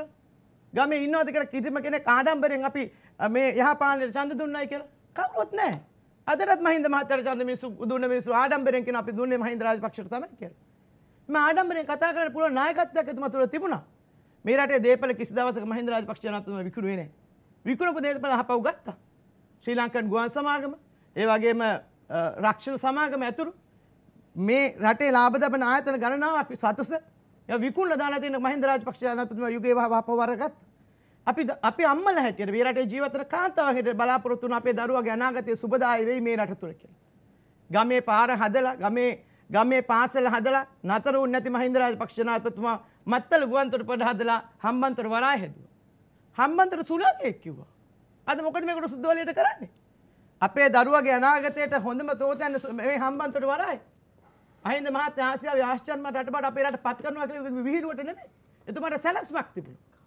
මේගොල්ලෝ මේගොල්ලන්ගේ මේගොල්ලෝ මොනවද කරන්නේ? මහින්ද රාජපක්ෂගේ ආණ්ඩුවේ නාය නාය නාය කියලා මේ ආයතන සියල්ල විකුණලා දානවා. හැබැයි මහින්ද මහත්තයාගේ ආණ්ඩුව තිබුණා කවදාකවත් විකිනෙන්නෙත් නැහැ ණය ටිකත් ලස්සනට. එදා වෙනකුණුත් ගෙවලා තිබුණේ අපි ආණ්ඩුව බාර දෙනකොට. ඉස්සරහටත් ඒක ගෙවන්න අපිට හැකියාව තිබුණා. දැන් මේ අය ආණ්ඩුව බාර අරගෙන මිනිස්සුන්ට බොරු කියලා බාර අරගෙන අද මහින්ද මහත්තයා හදපු දේවල් මෛත්‍රීපාල මහත්තයා ගිහිල්ලා ජනාධිපතිතුමා ගිහිල්ලා විවෘත කරනවා රනිල් වික්‍රමසිංහ මහත්තයා විකුණනවා. මේක තමයි අද මේ රටේ වෙන්නේ අද හම්බත් බලන්න මොන තරම් සාපරාධී ක්‍රියාවක් දර මත්තල ගුවන්තොටුපළ කලේ කියලා මහින්ද මහත්තයාගේ කාලේ මේ රටේ සහලින් ස්වයං පෝෂිත වෙලා තිබුණේ. මේ අය ආණ්ඩුවට එනකොට එයාට හාල් ටික ගබඩා කරගන්න තැන් තිබුණේ. මොනවද කරේ? අර දහස් ගණනක් මිනිස්සුන්ට ප්‍රයෝජන ගන්න තිබුණ මත්තල ගුවන්තොටුපළේ ගිහිල්ලා දේශපාලන කුහකකමට ගිහිල්ලා වී පිරෙව්වා. අද ඒ ඒකේ සාපි වැදිලා. ඒක හැබැයි දුක් විඳින මේ රටේ ජනතාව. හරියට වැස්ස ටික ලැබෙන්නේ නැහැ රටට. අපි ආගමක් අනුව අපි අපි විශ්වාස කරන මම බෞද්ධයෙක් අපි විශ්වාස කරනවා අපිට ව්‍යාගමේ අපිට කියලා තියෙනවා රටක පාලකයෝ ධර්මිෂ්ඨක වෙනකොට තමයි දෙවියන්ගේ ආශිර්වාද ලැබෙන්නේ. අද දෙවියන්ගේ ආශිර්වාදයක් මේ රටේ නැහැ. දල්දා හාමුදුරු එළියට ගත්තේ නැතුව ගත්තාම හැම අවුරුද්දකම අපි අහනවා මේ රටට වැස්ස වහිනවා කියලා. ඉතිහාසයේ පළවෙනි වතාවට වැස්ස නැකපු වැස්ස නැකපු නැති එකම අවුරුද්ද මේ අවුරුද්ද. සම හිතන්නේ රටේ පාලකයෝ අධර්මිෂ්ඨ වෙනකොට දෙවියන්ගේ ආශිර්වාදයක් ලැබෙනවා නැතුව යනවා. ඒ අනුව අද දවස රටින් රට දවසින් දවස මේ රට අගාධයට යනවා. ඒක තමයි අපිට දකින්නේ. අම්මාවරු හැටියට අපිට කැක්කුමක් තියෙනවා. අපි බලාපොරොත්තු වෙන්නේ දරුවට දියුණුණු රටක අපේ දරුවගේ අනාගතය මේ රට තුල හදන්න. විදේශ ගත වුණ අම්මලා දරුවා ආපහු ගෙනාවා. හැබැයි නැවතත් දැන් දෙමව්පියන් සිද්ධ වෙලා තියෙනවා මේ රට තුල ජීවත් වෙන්න බැරි නිසා දරුවන්ව නැවතත් විදේශගත කරනවා. සූති රෝස්ප්‍රන්ත් මහත්මිය මේ සුරපුරයක් හදන්න ගිය ගමන ඔබතුමිලා අඩාල කරලා මැද්දේ ගත්තා අරගන්න දැන් මොකද්ද මේ කරගෙන යන්නේ කියලා මෙතුමිය මතු කරන කාරණය. ඉතින් ඇත්තටම මේ ගොඩක් දේවල් කියපු පොරොන්දුවල ප්‍රශ්නයක් තියෙනව නේද මොකද ඉටුවෙන ටිකක් ප්‍රමාදයි නේද ඇයි චතුර එක්දස් නමසය අනු හතරයිදන් තිබුණේ අපේ ආණ්ඩු නෙමේ. දෙදස් එක ඒ අවුරුදු දෙකක් හැර තිබුණේ එක්සත් ජනතා නිදා සන්ධාන ආණ්ඩු. අද ඇත්ත වශයෙන්ම මේ කාන්තාවන් ගැන විශේෂයෙන් කතා කරන්න ඇවිල්ලා මේ එක්තරා පුද්ගලෙක්ගේ දේශපාලනයට මේ වාදය ලඝු කිරීම ගැන මම සන්තෝෂ වෙන්නේ. මේ මෙහිදී රටේ සත්‍යතාවය රටේ මා විශේෂයෙන් කියන්න ඕන. අපි කතා කරන්නේ එතුමා ගැන නැත්නම් මේ මහින්ද රාජපක්ෂ අපිට තේරෙනවා. කරන්නේ එතුමා රටේ අපි කාන්තාව. හැටියට අපි සන්තෝෂ වෙනවා මේ මන්ත්‍රීතුමියල්ලා ඉදිරිපත් වෙලා යම්කිසි දේශපාලන වාද විවාද වලට සම්බන්ධ වීම ගැන අපි සන්තෝෂයි. ඒක ඒකේ කිසිම ගැටලුවකුත් නෑ අපි ඒ ගැන සන්තෝෂයි. නමුත් අපි රටක් විදියට හිතනකොට අපි තේරුම් ගන්න අපි කොහටද යන්නේ කියලා. දැන් දශක දෙකක් විතර මේ රට පාලනය කරලා මෙතුමියල්ලා කියනවා අපි මේ ණය බේරනවලු හිටියනම්. එතකොට මං අහනවා 94 ඉඳන් මේ 2015 අපි රජේ බාර ගන්නකම්. මේ දිගටම ණය වැඩිවීමක් විතරයි සිද්ධ වුණේ. එහෙමනම් ඒ දක්ෂකම එදා එක රටක් තිබුණානේ. මේ මේ- මේ-. මේ- මේ- මේ- මේ මේ- නෑ. මම වෙන ණය වෙන රටවල් ගැන නෑ, නෑ, කතා මේ කරන්නේ දියුණු කියන්නේ ලංකාව වෙන්න ඕනේ. ණය නොවිච්ච රටක් මේ නෑ. ලංකාව දේශපාලන වශයෙන් පරිපාලන වශයෙන් ඉස්සරහට ගෙනියන්නේ කොහොමද කියන එකයි මම කතා කරන්නේ. මේ අපි දක්ෂණං අපි දක්ෂණං අපි ඒ හැකියාව පෙන්වන්න ඕන. දශක දෙකක් හැකියාව පෙන්වන්න බැරුව ගිය මිනිස්සු අද වාද විවාද කරනවා ඇවිල්ලා මේ 2015 ආණ්ඩුව අරගෙන අපි තව 2017 මේ අවුරුද්ද මුල එලිපත්ති ඉන්නේ. මෙහෙම ඉන්නගෙන අපේ දක්ෂතාවය අපිට අපි පෙන්වලා අපිට ඉවරයි. රටේ යුද්ධය අවසන් කරුවා. දැන් ගමේ මේ පාර හැදුවා. ගීතා අධිවේගී කුමාරසිංහ ආදායම මන්ත්‍රීතුමිය හොඳයි. හොඳයි අපි එතුමියට කතා කරන එක්කෙනෙක්- ප්‍රශ්නයක් විදිහට මෙහෙමයි. ඔබතුමිය යොමු කරන ප්‍රශ්නයක්. කතා කරාට පස්සේ ප්‍රශ්නය ඇහුවොත් මට උත්තර දෙන්න ප්‍රශ්න පුළුවන්. යොමු නැත්නම් කරන්න අපි අවස්ථාව කියන එක තියෙනවා. මහ ජනතාවට පැහැදිලි වෙන්නේ නැහැ. ගීතා කුමාරසිංහ මන්ත්‍රීතුමිය මං බොහොම හිතවත් මේ මං එතුමියගේ මේ ෆිල්ම් එක බලන මම කැමතියි. නමුත් මම මෙතුමියගේ දේශපාලනය ගැන කතා කරද්දි මට කියන්න සිද්ධ වෙනවා. මෙතුමියගේ එක්තරා රැස්වීමකට කෝටි දෙහකට වැඩිය සෙනගාවයි කියලා මේ සංඛ්‍යාලේඛන කියද්දී ජනගහනයටත් වැඩිය සෙනගක් ආපු බව එක් සැරයක් කිව්වා. ඉතින් මෙතුමිය සැම හැමදාම වලට ගන්නවා. කාන්තාවක් හැටියට ඔය මෙතුමිය- ගැහුවේ කාන්තාවක්. මේ- මේ- මේ- ඔබතුමිය ලැජ්ජ වෙන්න. ඒක වචනික. වැරැද්දක්. හරි. ඒක වචනික වැරැද්දක්. එහෙනම් අර. ඊයේ ඊයේ රනිල්. වික්‍රමසිංහ කියන්න අගමැතිතුමා. කිව්වේ සෙල්ෆි ගහන්න උගන්වනවා කියලා. සීයයි කිව්වා. ලුණු පැකට් එක සීයයි කිව්වා. ඔව්. හාල් සීයයි කිව්වා. දැන් හාල් හැත්ත දෙකයි ඇත්තද? අනේ, අරන් ඉන්නකො මේ රටේ ජනතාව බලන්න රුපියල් 30ට ගන්න පුළුවන්. රට වටේම ලුණු තියෙනවා. මම මහබෝධ තියෙනවා. මං කියලා දෙන්න ලුණු 100ට ගිය විදිය කියලා දෙන්න 30ට ගන්න පුළුවන්. එහෙමනම් ඔය ලුණු පැකට් පහක් විතර දාපු වෙනම ගත්තත් කඩේ කවුරු අඳුරන කෙනෙක් ඉඳලා දැන් දෙනවා මෙහිදී නමුත් මේ දන්න මෙතුමිය- රුපියල් 100ට හමු වෙන්නේ නැහැ. හොඳයි. කඩන් ගිලව් පට්ල ගන්නවා. නෑ නෑ නෑ. මම කියන්න කොහොමද මේ ලුණු 100ට ඒ ගියේ වගේම කියලා. අපේ ගීතා කුමාරසිංහ මන්දිතුමිය කිව්වා මේ ඊය පෙරේද පාතාල කල්ලිටයක් අතර ගැටුමකින් රන්ධවියන් සහ අපේ බන්ධනාකාර නියාමකවරුම් මිය ගියා. ඒ සිද්ධිය ගැන එතුමිය කියනවා දැන් සිරකාරයකුට ආරක්ෂාව දෙන්න බැහැ කියලා. මම මතක් කරනවා දේශපාලන වශයෙන් ඔබතුමිය හිතලා බලන්න හිර ගෙදර ඇතුලේ 14ක් 15ක් පහළ උඩ නැගන් ඉද්දි මරලා දැම්මේ. එතකොට ඒ මොන නීතිය යටතේද මරලා දැම්මේ? මේක පාතාල දැන් මරන්නේ? මේක පාතාල කල්ලි දැන් ප්‍රශ්නයක්. ඔබතුමා අපි මේ කාලේ දුණා ඔය ඔය පාතාල පාතාල කල්ලි ඒ ඕගොල්ලෝ දේශපාලන මරන්න ආපු මිනිස්සු දේශපාලක ඒ මරන්න හොයාගෙන ඒක ආපු මිනිස්සු ඉතාම විවෘතව ඒක කියන්න පාතාලේ. ප්‍රශ්නයක්. ඒක මේ ආණ්ඩුවේ ප්‍රශ්නයක් පාතාලේ නෙමෙයි මේක අපි- ආණ්ඩුවේ අපි- ආණ්ඩුවේ ආණ්ඩුවේ ඇමතිවරු මම මේ මේ දේ ඔබතුමියට ඇති කියන්න කරනවා. ඕනේ. පාතාලය අද ඇති කරනවා. මම ඒක පිළිගන්නේ. ඉන්නවා. ඒගොල්ලෝ තමයි මේ අපි ගාව අපි ගාව පාතාල ඇති කරනවා කියන එක අපි පිළිගන්නේ නැහැ. ඔබතුමීට උදාහරණයක් හැටියට කියන්න ඕන නම් දැන් අපි මේ රජයේ බලයේ ඉන්න ආණ්ඩු පක්ෂේ. අපි තමයි මේ ආණ්ඩුව පිටවන්න දායක වුණේ 99%ක්ම. තව දැන් ඔබතුමියලාගේ පක්ෂේ ඉන්න අය තමයි මේ පැත්තට ඇවිල්ලා ඇමති දූර අරගෙන දැන් මේ ආණ්ඩුවත් එක්ක ගමනක් යන්නේ. මම මේ එතුමියලා අපහසුතාවයට පත් කරන මාව මෙතන ඉඳලා මේ අද කාන්තා මේ දවසේ කෙසේ නමුත් අපි මේ ඔබතුමිය සඳහන් කර සිටියේ කාරණයෙන් ආපහු අපිට ඉස්සරහට යන්නට පුළුවන්. මෙහිදී විශේෂයෙන්ම චතුර මම කියන්නට වුණා කාන්තාව කැඩට මම නම් මේ පටු දේශපාලනයේ එල්ලිලා ඉන්න කෙනෙක් නෙමේ. ම- අපි බලාපොරොත්තු වෙන්නේ රජයේ පාට මොකක්ද කියන එක නෙමෙයි. අපි දන්නව මේ ශ්‍රී ලංකාව හැමදාම දියුණු වෙමින් පවතින රටක්. මම ඉස්කොල යන කාලෙත් කිව්වේ දියුණු වෙමින් පවතින රටක් අපි තාම දියුණු වෙලා නැහැ. ඇත්ත වශයෙන්ම ගත්තොත් අපේ සාක්ෂරතාවය අපි දන්නවා සෑහෙන ඉහළ මට්ටමක තිබුණාට අද විරැකියාව අතිවිශාලයි. ඒ කියන්නේ හැම කෙනෙක්ම රජයේ රස්සාවක් වාගෙන එන්නේ. දැන් අපි අත්දැකීමෙන් දන්නවා. අපි ගාව රස්සාවලට එන අය ගොඩාක් දුරට එන්නේ වරාය. එහෙම නැත්නම් ගුවන් තොටුපොලේ රස්සාවක් දෙන්න කියලා. අනේ ඒ එතන යම්කිසි අර රැකියා දසලක්ෂයෙන් ලක්ෂ කීයක් කාන්තාවන්ට දෙන්න බලාපොරොත්තු වෙනවද? මන්තිතුමිය අපි ආණ්ඩුව කරන අවුරුදු පහන් ඒ අවුරුදු පහවිරෙන් ඉසල දසලක්ෂයක දෙනවා අර ඔබතුමියටත් රස්සාාවක් අපි දෙනවා. අනේ ෆෝක්ෂෑගන් කම්පනී එකේ මම කල්පනා ඔබ කරේ ඒකෙන් රස්සාවක් දුන්නොත් හොඳයි ඔබතුමට කියලා. මැඩේටින් ඩිරෙක්ට පෝස්ට දෙන්න. ඒක තමයි මම මන්ත්‍රීතුමිය දැන් ඔබතුමිය පිළිගන්නවාද රැකියා දසලක්ෂයක් දෙන්න ගෙනාපු ආණ්ඩුව තුළ මහින්ද රාජපක්ෂ ජනාධිපතිතුමාගේ රටේ තිබුණු කාලෙදි මේ රටේ තිබුණ විරකියාවට වඩා වැඩි වෙලයි කියන එක. රටේ විරකියාව. මන්තිතුමිය නෑ පිළිගන්නවද නැද්ද මම අහන්නේ එච්චරයි. මම මම බොහොම ඍජු උත්තරයක් මම. පිළිගන්නේ ඔබතුමියලාගේ ආණ්ඩුව තියෙන කාලෙ කිව්වේ 104කට විතරයි රස්සා නැත්තේ කියලා. ඒ නෑ. නෑ සියයට හතරයි දශම පහකට මේ රටේ විරකියාව විර- ඔබ- ඔබ-. ඔබ-. ආ. ඔබතුමියන්ලගේ ආණ්ඩුව දැන් තියෙනවා. ඔබතුමියන්ලගේ දස ලක්ෂය ආණ්ඩුව කොහෙද කියලා තමයි අපිත් බලාගෙන ඉන්නේ. ඔබතුමියන්ලගේ ආණ්ඩුව හි කියපු ප්‍රතිශතයන් නිවැරදි නම් අද වෙනකොට 100ක් ගත්තොත් හතර දෙනාකටයි රස්සා නැතුව තියෙන්නේ. එහෙනම් ඒ හතර දෙනාට රස්සා දෙන්න අපිට බැරි කමක් නැහැ. ඔයාලා කීයක් 100ක් දීලා තියෙනවද මේ ගත්තාම කාලේ? හතරනේ ඉන්නේ. මේ- මේ අවුරුදු හතරට දෙකමාරට කීයක් දීලා තියෙනවද? එහෙනම් මං අහනවා ඔබතුමියන්ලා රැකියාව දසලක්ෂයක් ඉල්ලන්නේ 104 නම් ඉතුරු වෙලා තිබ්බේ අපි දසලක්ෂයක් නිර්මාණය කරනකොට රස්සා දෙන්න මිනිස්සු තමයි අපි දෙන්න.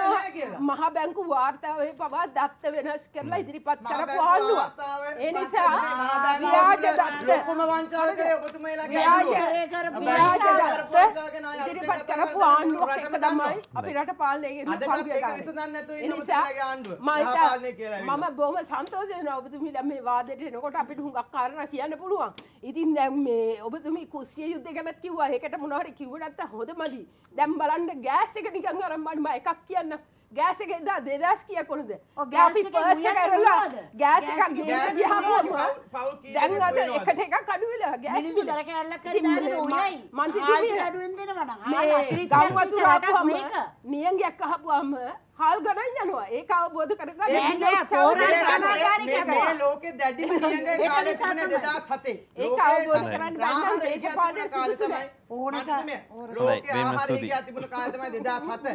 ඒ 2007 වත් මේ රටේ ජනතාවට කන්න ඉන්න සිද්ධ වුණේ නෑ. ඔබතුමියලා මේ සුදුවෑන් හඳුන්වල දීලා ඔබතුමියලා පාතාලේ වර්ධනය කරපු හින්ද තමයි මේ සියලු දෙනාම ඔබ ඇතර දැන් මේ පාතාලේ වර්ධනලා තිබුණ ඒ කාලේ කියලා මෙතුමියලා මේ චෝදනාව එල්ල කරේ. චතුර ඕවාර හැත්තෑ හතේ කාලිතිවිච්ච දේවල් ටිකක් මතක් කළ දුන්න මෙතුමිය මට ඊට වැඩිය වැදගත් දේවල් ටිකක් කියන්න තියෙනවා මේ මහින්ද රාජපක්ෂ ජනාධිපතිතුමාගේ කාලේ හදාපු වරාය අර මහා කළුගලක් තියෙනවා කිව්ව නැව්වෙන් නැහැ කිව්ව වරාය තමයි අද ඔබතුමියලා ඔය විකුණගෙන කන්න හදන්නේ. චීන කොලිනියක් හැදෙනමයි කිව්වා. කොහොමද දැන් ඒ චීන කොලනිය අපි වැඩ කරේ නැද්ද? දැන් ඒ චීන කොලනිය බොහොම හොඳයි. මොකද ඒවා සියල්ලම දවසින් දවස විකුණගෙන විකුණගෙන ගිහිල්ලා අන්තිමට අර සුදු ජාතිකයින් විසින් අර හදාපු වරායටත් දැන් ගාන්ට වැඩක් දෙන්න ලෑස්ති කරගෙන ඉන්නවා. ඒකත් විකුණ ගන්න දැන් සූදානම් මම හිතන්නේ ඇමතිතුමාවත් දන්නේ නැතුව ඒක විකු දන්නේ නැතුව ඇති කොහොමද ඒක විකුණුනේ කියලා. ඉතින් දැන් ඔබතුමාලා හොයන්නේ පටපට පට ගාලා මේ රටේ තියෙන හැම දෙයක්ම විකුණලා විකුණලා දාන්න. මට හරි ආසයි අර ලුණු පැකට් එක ගැන. ගැන මට ඒ ලුණු අමතක කරන්න බෑ. කාන්තාවක් වුණාම ලුණු ගැන තියෙනවානේ ප්‍රශ්නේ. අර රුපියල් 100 රුපියල් 100ට යනවා කිව්ව ලුණු වලට මොකද දන්නවද උනේ? ලුණු සංස්ථාවට දැම්ම සභාපති කවුද? තමුන්නා ඔබතුමිය දන්නවද? මේ පා- පලා- ප්‍රාදේශීය සභාවක පැරදිච්ච මන්ත්‍රීවරයෙක් අයුක්ත කියලා මෙලෝ හසරක් දන්නේ නැති මිනිස්සෙක් සභාපති කරා.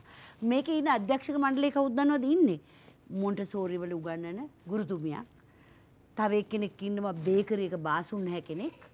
අ, තව එක්කෙනෙක් ඉන්නවා කිසිම රස්සාවක් නොකර නිකන් ඉබාත් ගාත ගියයි. මේ අධ්‍යක්ෂක මණ්ඩලයට 100ට නෙවෙයි හෙට අනිද්දා වෙනකොට 1000ට ලුණු න- නග්ගලා අ, හි- හිටියොත් ඒත් අපි පුදුම වෙන්නේ නැහැ. මොකද ඒ අයට පරිපාලනය ගැන කිසිම දැනීමක් නැහැ.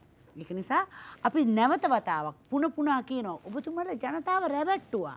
ජනතාව රැවටුණා මේ රටේ සියලුම කාන්තාවන්ව රැවැට්ටුවා. දෙනවයි කියපු කිසිම දෙයක් මොනම විදිහකින්වත් ඉෂ්ට නොකරපු ආණ්ඩුවක් මේක. ඒක නිසා කියන්න එපා අපි දෙනවා කිව්ව අපි කරපු සංවර්ධනය තමයි අද විවෘත කර කර යන්නේ. අපේ ගම්වලට ඇවිල්ලා අපි හදාපු පාරවල් බෝඩ් ගහගෙන විකු- විවෘත කරනවා. පාසල් ටික විවෘත කරනවා. ප්‍රශ්නය ජනාධිපත්තුමයි එක්ස ජාතිකවයි සම්බඳ මේ එක බද්ධ වෙච්ච ආණ්ඩුවක් ඒ කාබද්ධ වෙච්ච ආණ්ඩුව වෙනම කතාවක්. නමුත් කියන්න ඒගොල්ල කරනවා කියලන්න ඇත්තර කනගාටු කියනකොට කියන්න මේක මේ දැන් මෙතුබීම කිව්වන අපි එක්සත් ජාතික පක්ෂය තමයි. කවදාවත් එක්සත් ජාතික පක්ෂයක් ආණ්ඩු වෙන්න මෛත්‍රපාල සිරිසේන මැතිතුමාව ගෙනාව නැත්තම්. ඒක ඒක කියන්නවත් ලෝබයිනය ඔගොල්ලු ඇයි එහෙම ලෝබවෙන්නේ කෙලින් කටල්ල කියන්න කොගොල හිතනවද? කවදාවත් දිනන්න පුළුවන් කියලා. කවදාවත් දිනන්න කවදාවත් දින එදා ඒ විදිහට ගෙනල්ලා ඔබතුමාලා ඒ දිනාගත් එක නිසා අඩුගාන ටිකක් නම්බුකාර විදිහට එතුමාටත් පොඩි chance එකක් දීලා කියන්න. අනේ අපි මේ අපි මෛත්‍රීපාල මහ මැතිතුමාව ගෙනෙල්ලා එතුමාව ඉස්සරහට දාගෙන අද එතුමා නිකන් බලාගෙන ඉන්න වෙලා.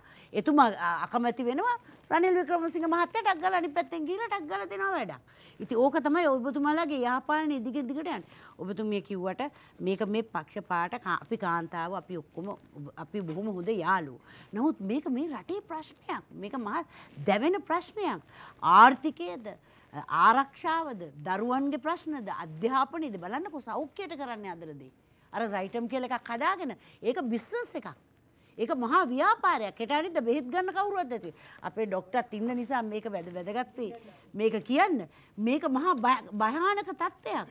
මේ විදිහට කට්ටිය ගෙනෙල්ල මේ විදිර වෛද්‍යවරුන් බිහි කරනවාය කියන සංකල්පය උඩ ඉදිරියේදී බෙහෙතක් හිතක් ගන්න මිනිස්සුගියොත් මේ රටේ මිනිස්සුට සිද්ධ වෙන දෙයියන්ගේම පිහිටයි. ඇත්ත කතාවන්න එකන ඉස්සර කාලේ ඔබතුමියලගේ කාල්තම සයිටම පටන් අපේ මොක ඒ ඒ චෝදනාවමත් තරය ප්‍රතික්ෂේප කර කෝම දේට කියන්නේ? මහින්ද රාජපක්ෂ මැත්තුමයි කාලේ මහින්ද මහත්තයා සාක්කුවෙන් දාලා දුන්නේ ප්‍රශ්නයක් අහන්න පුළුවන් ඕන. ඒවා ඒක නිසා ඔබතුමියට අහන්න පුළුවන්. කොහොමද අපේ කාලේ පටන් ගත්තේ? මන්ත්‍රීතුමිය සයිටම් පටන් ගත්තේ අවුරුද්ද දන්නවද? සයිටම් පටන් ගත්ත අවුරුද්ද අපේ කාලේ කියලා මම දන්නවා. එතකොට එතකොට ඇයි ඔබතුමියලාගේ රජයේ ඒ වගේ වෙලාවට පෞද්ගලික වෛද්‍ය විද්‍යාලයක් ආරම්භ කරනකොට විරුද්ධ වුනේ නැත්තේ? පෞද්ගලික වෛද්‍ය විද්‍යාල සංකල්පයට විරුද්ධ නෑ. එහෙනම් අපි විරුද්ධ වෙලා තියෙන මේ ව්‍යාපාරයට. හරි. මේක බරපතල ව්‍යාපාරයක්. මම මම මහින්ද රාජපක්ෂ මැතිතුමා එතුමාගේ සාක්කුවෙන් දුන්නේ නෑ ඒක පටන්. ඒක බැංකුවකින් ගත්ත ණයක්. ඒ බැංකු ගත්ත බැංකුවෙන් අරගෙන අද එහෙම නෙවෙයි. අද තනි පුද්ගලයෙකුගේ අවශ්‍යතාවයක් උදෙසා මේක හදන්නේ සම්පූර්ණ ව්‍යාපාරයක් හැටියට. ලෝකේ වෙනත් රටවල් වල තියෙන පෞද්ගලික වෛද්‍ය විද්‍යාල ඔබතුමිය වෛද්‍යවරියෙක්. ඒ නිසා. අපි බොහොම කැමැති ඒ ඒ සංකල්පෙට. එහෙමනම් රජයට පෝරා ගන්න. ඒක කියන්නේ වෛද්‍ය සභාවේ අනුමැතිය තොරව මේ කරන්න එපා කියන අනිවාර්යෙන්. ගරු මන්ත්‍රීතුමිය මමත් ඔබතුමිය එක එකඟ සමහර කරුණුවලට මේ පෞද්ගලික අවස්ථාව දෙන්නම්. මෙතුමි අවස්ථාව ඉවර කරන්න. හොඳයි. මේකත් එක් ඔබතුමීට තවත් අවස්ථා ගණනාවක්කදී අපි මෙතුමියල එල්ල කරපු චෝදනාවන් කීපයක් තිබෙන එකක් තමයි මේ ප්‍රත්තරම් බඩු බේර ගැනීම ඒවගේම ගැබිනි මාතාවගේ පෝෂණ මල්ල ඒවගේම හැම ආණ්ඩු වකවානුවලකදීම දීපු මේ ප්‍රතිපත්ති සහ පොරොන්දු ගණනාවක් තියෙනවනේ නමුත් ඔබතුමිලටත් සමහර දේවල් ඉෂ්ට කරගන්න බැරි වුණා කාන්තාව වෙනුවෙන් විශේෂම යුද්ධය සම්බන්ධයෙන් බැටකාපු කාන්තාව ඒ අය වෙනුවෙන්. කාන්තාවට කරපොල්ල කරන ලද විශේෂම සේවය තමයි මේ රට නිදහස් ස්වරී රාජ්‍යයක් හැටියට දිනාදීම. යුද්ධය අවසන් කිරීම පමණක් මේ රටේ කාන්තාවන්ගේ සැනසිල්ලට හේතු වුණා. මේ රටේ අදත් මේ රටේ කාන්තාවනු සිරු ජාතියම මේ පිළිබඳ කෘතඥතාවට හැබැයි හරි ලස්සන කෘතඥතාවයක් නම් තියෙනවා. අර යුද්ධය වෙනුවෙන් මැරිච්ච රණවිරුවන්ව. අද ඒගොල්ලොන්ගේ නැතිවෙච්ච අර බාගෙට කැඩිච්ච කකුල් උස්සගෙන අනේ යනවා ඉල්ලන්න ඒගොල්ලන්ගේ ඉල්ලීම් ඉල්ලගෙන මරණාසන්නව ඉන්නවා. නමුත් ඒ ඉල්ලීම් ගැන සත පහකටවත් සලකන්නේ නෑ. අද යුද්ධය දිනාදීපු ගෝඨාභය රාජපක්ෂ මැතිතුමා ගෙදරට වෙලා ඉන්නවා. එතුමාට පුළුවන් පුළුවන් තරම් මොන මොන හරි කරලා පොලිසිය උසාවිය ගානේ ගෙනියනවා. එහෙමනම් මේ රටේ ජනතාවට මහින්ද රාජපක්ෂ යුගයේ කර මැතිතුමාගේ යුගයේ කරපු ලොකුම සේවය තමයි මේ යුද්ධය අවසන් කිරීම. යුද්ධයක් තියෙන රටක් වුණත් කණ්ණාඩු කරේ නෑ. පොහොරා සහනාධාරයේ දීලා සහල් අතිරික්තයක් තිබ්බා. උතුරා ගලා යන්න හාල් තිබුණා මේ රටේ. මේ විදිහට නියඟවල් අනන්ත අප්‍රමාණ තිබ්බා. නමුත් මිනිසුන්ට කෑම වලින් අඩුවක් තිබුණේ ඒ තරම් යුද්ධයක් කරන ගමන් මේ රටේ ජනතාව ඒ වගේ සතුටින් තියන්න හිටිය. ඒක නිසාම තමයි ඔය වරාය හැදුවේ. වරාය හදලා ඒ වගේ මත්තල ගුවන් තොටුපොළ වී ගබඩාවක් කරන්න තර කරනවා කියන වචනය පවා. අද කොහොමද ඒවයි ප්‍රයෝජන අරගන්න නිකන් නෙවෙයි ඒවා අයිතිය වෙනත් රටවල්වලට විකුණ විකු- විකුණලා මේ රටේ අනාගත පරපුර වෙනුවෙන් හදාපු. මේ රටේ අනාගතය දියුණු කරන්න මේ රටේ අනාගතය වෙනුවෙන්. හදාපු සියල්ල විකුණා දැමීමට පිබුරුපත් සකස් කරගෙන බාගෙට විකුණලා තියෙන මේ රජය වෙනුවෙන් මේ රටේ සියලු කාන්තාවනේ. සියලු ජාතියම නැගී සිටිය යුතු අවස්ථාව. ස්තුතියි. කාලය අවසන්. කෙටි ප්‍රශ්නයක් විතරක් ඔබතුමීට අහන්න පුළුවන්. ප්‍රශ්නයක්. මම යොමු කරන්නේ මේ මත්තල ගුවන්තට පොළ ගැන මෙති මේ කතා කරා. රුපියල් දාසේ දහක අදායමකට සීමා කරලා මත්තල ගුවන්තට පොළ හැමදාම් පවත්තගෙන යන්න කියලා දොපතුමී කිය මත්තල තිබුණ නැත්නම් ඔව්, අර- අර- අර- තිබුණ නැත්නම් අද මත්තල තිබුණ නැත්නම් රජය කෝටි ගානකට වඩා දැවන්ත මුදල් ප්‍රමාණයක් එක්ක ඉන්දියාවට නැත්නම් මාලයට කියලා. අද අද මත්තල ඒ නිසා තමයි අද මත්තල නිසා තමයි අද- අපේ රටේ දෙවෙනි ගුවන්තොටුපළක් තියෙන නිසා තමයි ජාත්‍යන්තර වශයෙන් මන්තිතුමිය එන්න ඒකන මේ මගේ තර්කේ දාසේ දහක අදෑමකට ගුවන්තට පොළ පවත්තගෙන මේ මේ මේ වරහයක් පවතගෙන ගිල්ල වැඩක්. වරායද ගුවන්තොටුපළ? ඒ නිසා ඒ නිසා වරා- වරා නෑ, ඉදිරි-. ඉදිරි දැක්මක් තිබුණා. මේ- මේ- මෙතුමිය- මෙතුමිය හම්බන්තොට වරාය ගැන කියනවා ගුවන්තොට පොළ ගැන කියනවා අපි කරන්නේ ආදායන් ලබාගන්න පුළුවන් ආකාරයට ඒවා නිසි ආයෝජනයන්නේ නිරත කිරීම තමයි කරන්න හරි විකිරීමක් නෑ සියයට හසුවක් අසුවක් ආයෝජක වෙනවා චීනය. ආයෝජනය? කරනවා අපේ පරිපාලනය යටතේ ඒ ඔබතුමිය ඒක හරිට වටහ ගන්න අර ජනගහනය. ජනගහනය වරද්දගත්තෝගේ වරද්දගන්න මේ රටේ පුංචිම ළමයා පවා ඒක දන්නවා. ඒ විකුණන්නේ මොකටද කියලා. මන්ත්‍රීතුමිය හොඳයි. කඩයක් දැම්මත් ඉස්සෙල්ලාම ආදායම්. ලැබෙන්නේ නැහැ. හැබැයි මත්තර තිබුණ නිසා තමයි අද කෝටි. ගාණක් ඉන්දියාවට යන්නේ නැතුව අද රට ඉතුරු වෙලා තියෙන්නේ. හොඳයි බෙහෙන්ම ස්තුතියි. බෙන්ම ස්තුතියි ඔබතුමියගේ මේ සයිටම් කතාවෙන්ම සයිටම් පටන් ගන්න පුළුවන් අපේ ගරු මන්ත්‍රීතුමිය සෞදර මන්ත්‍රීතුමිය ගීතා කුමාරසිංහ මැතිනිය මම හිතන්නේ සයිටම් ගැන කතා කරනවා නම් මමත් ඉස්සෙල්ලාම කියනවා මමත් නිදහස් අධ්‍යාපනයෙන් වෛද්‍ය විද්‍යාලයෙන් රජ වෛද්‍ය විද්‍යාලයෙන් පිට වෙච්ච ආ, ශිෂ්‍යාවක් විදියට මම හිතන්නේ ඔබතුමියලා මේ ගැන කරුණුකාරණා දන්නේ නැහැ කියන එක ගැන නම් මම එකඟ වෙන්නේ නැහැ. දැන් අ, චතුර අපිට මේ වර්තමානයේ වෙලා තියෙන්නේ ඔක්කොම අ, ගියාට පස්සේ ඒක කදත් ගිහලා ඔක්කොම ගියාට පස්සේ වලිගෙට තමයි අපිට එකතු වෙන්නලා තියෙන වර්තමාන රජයට.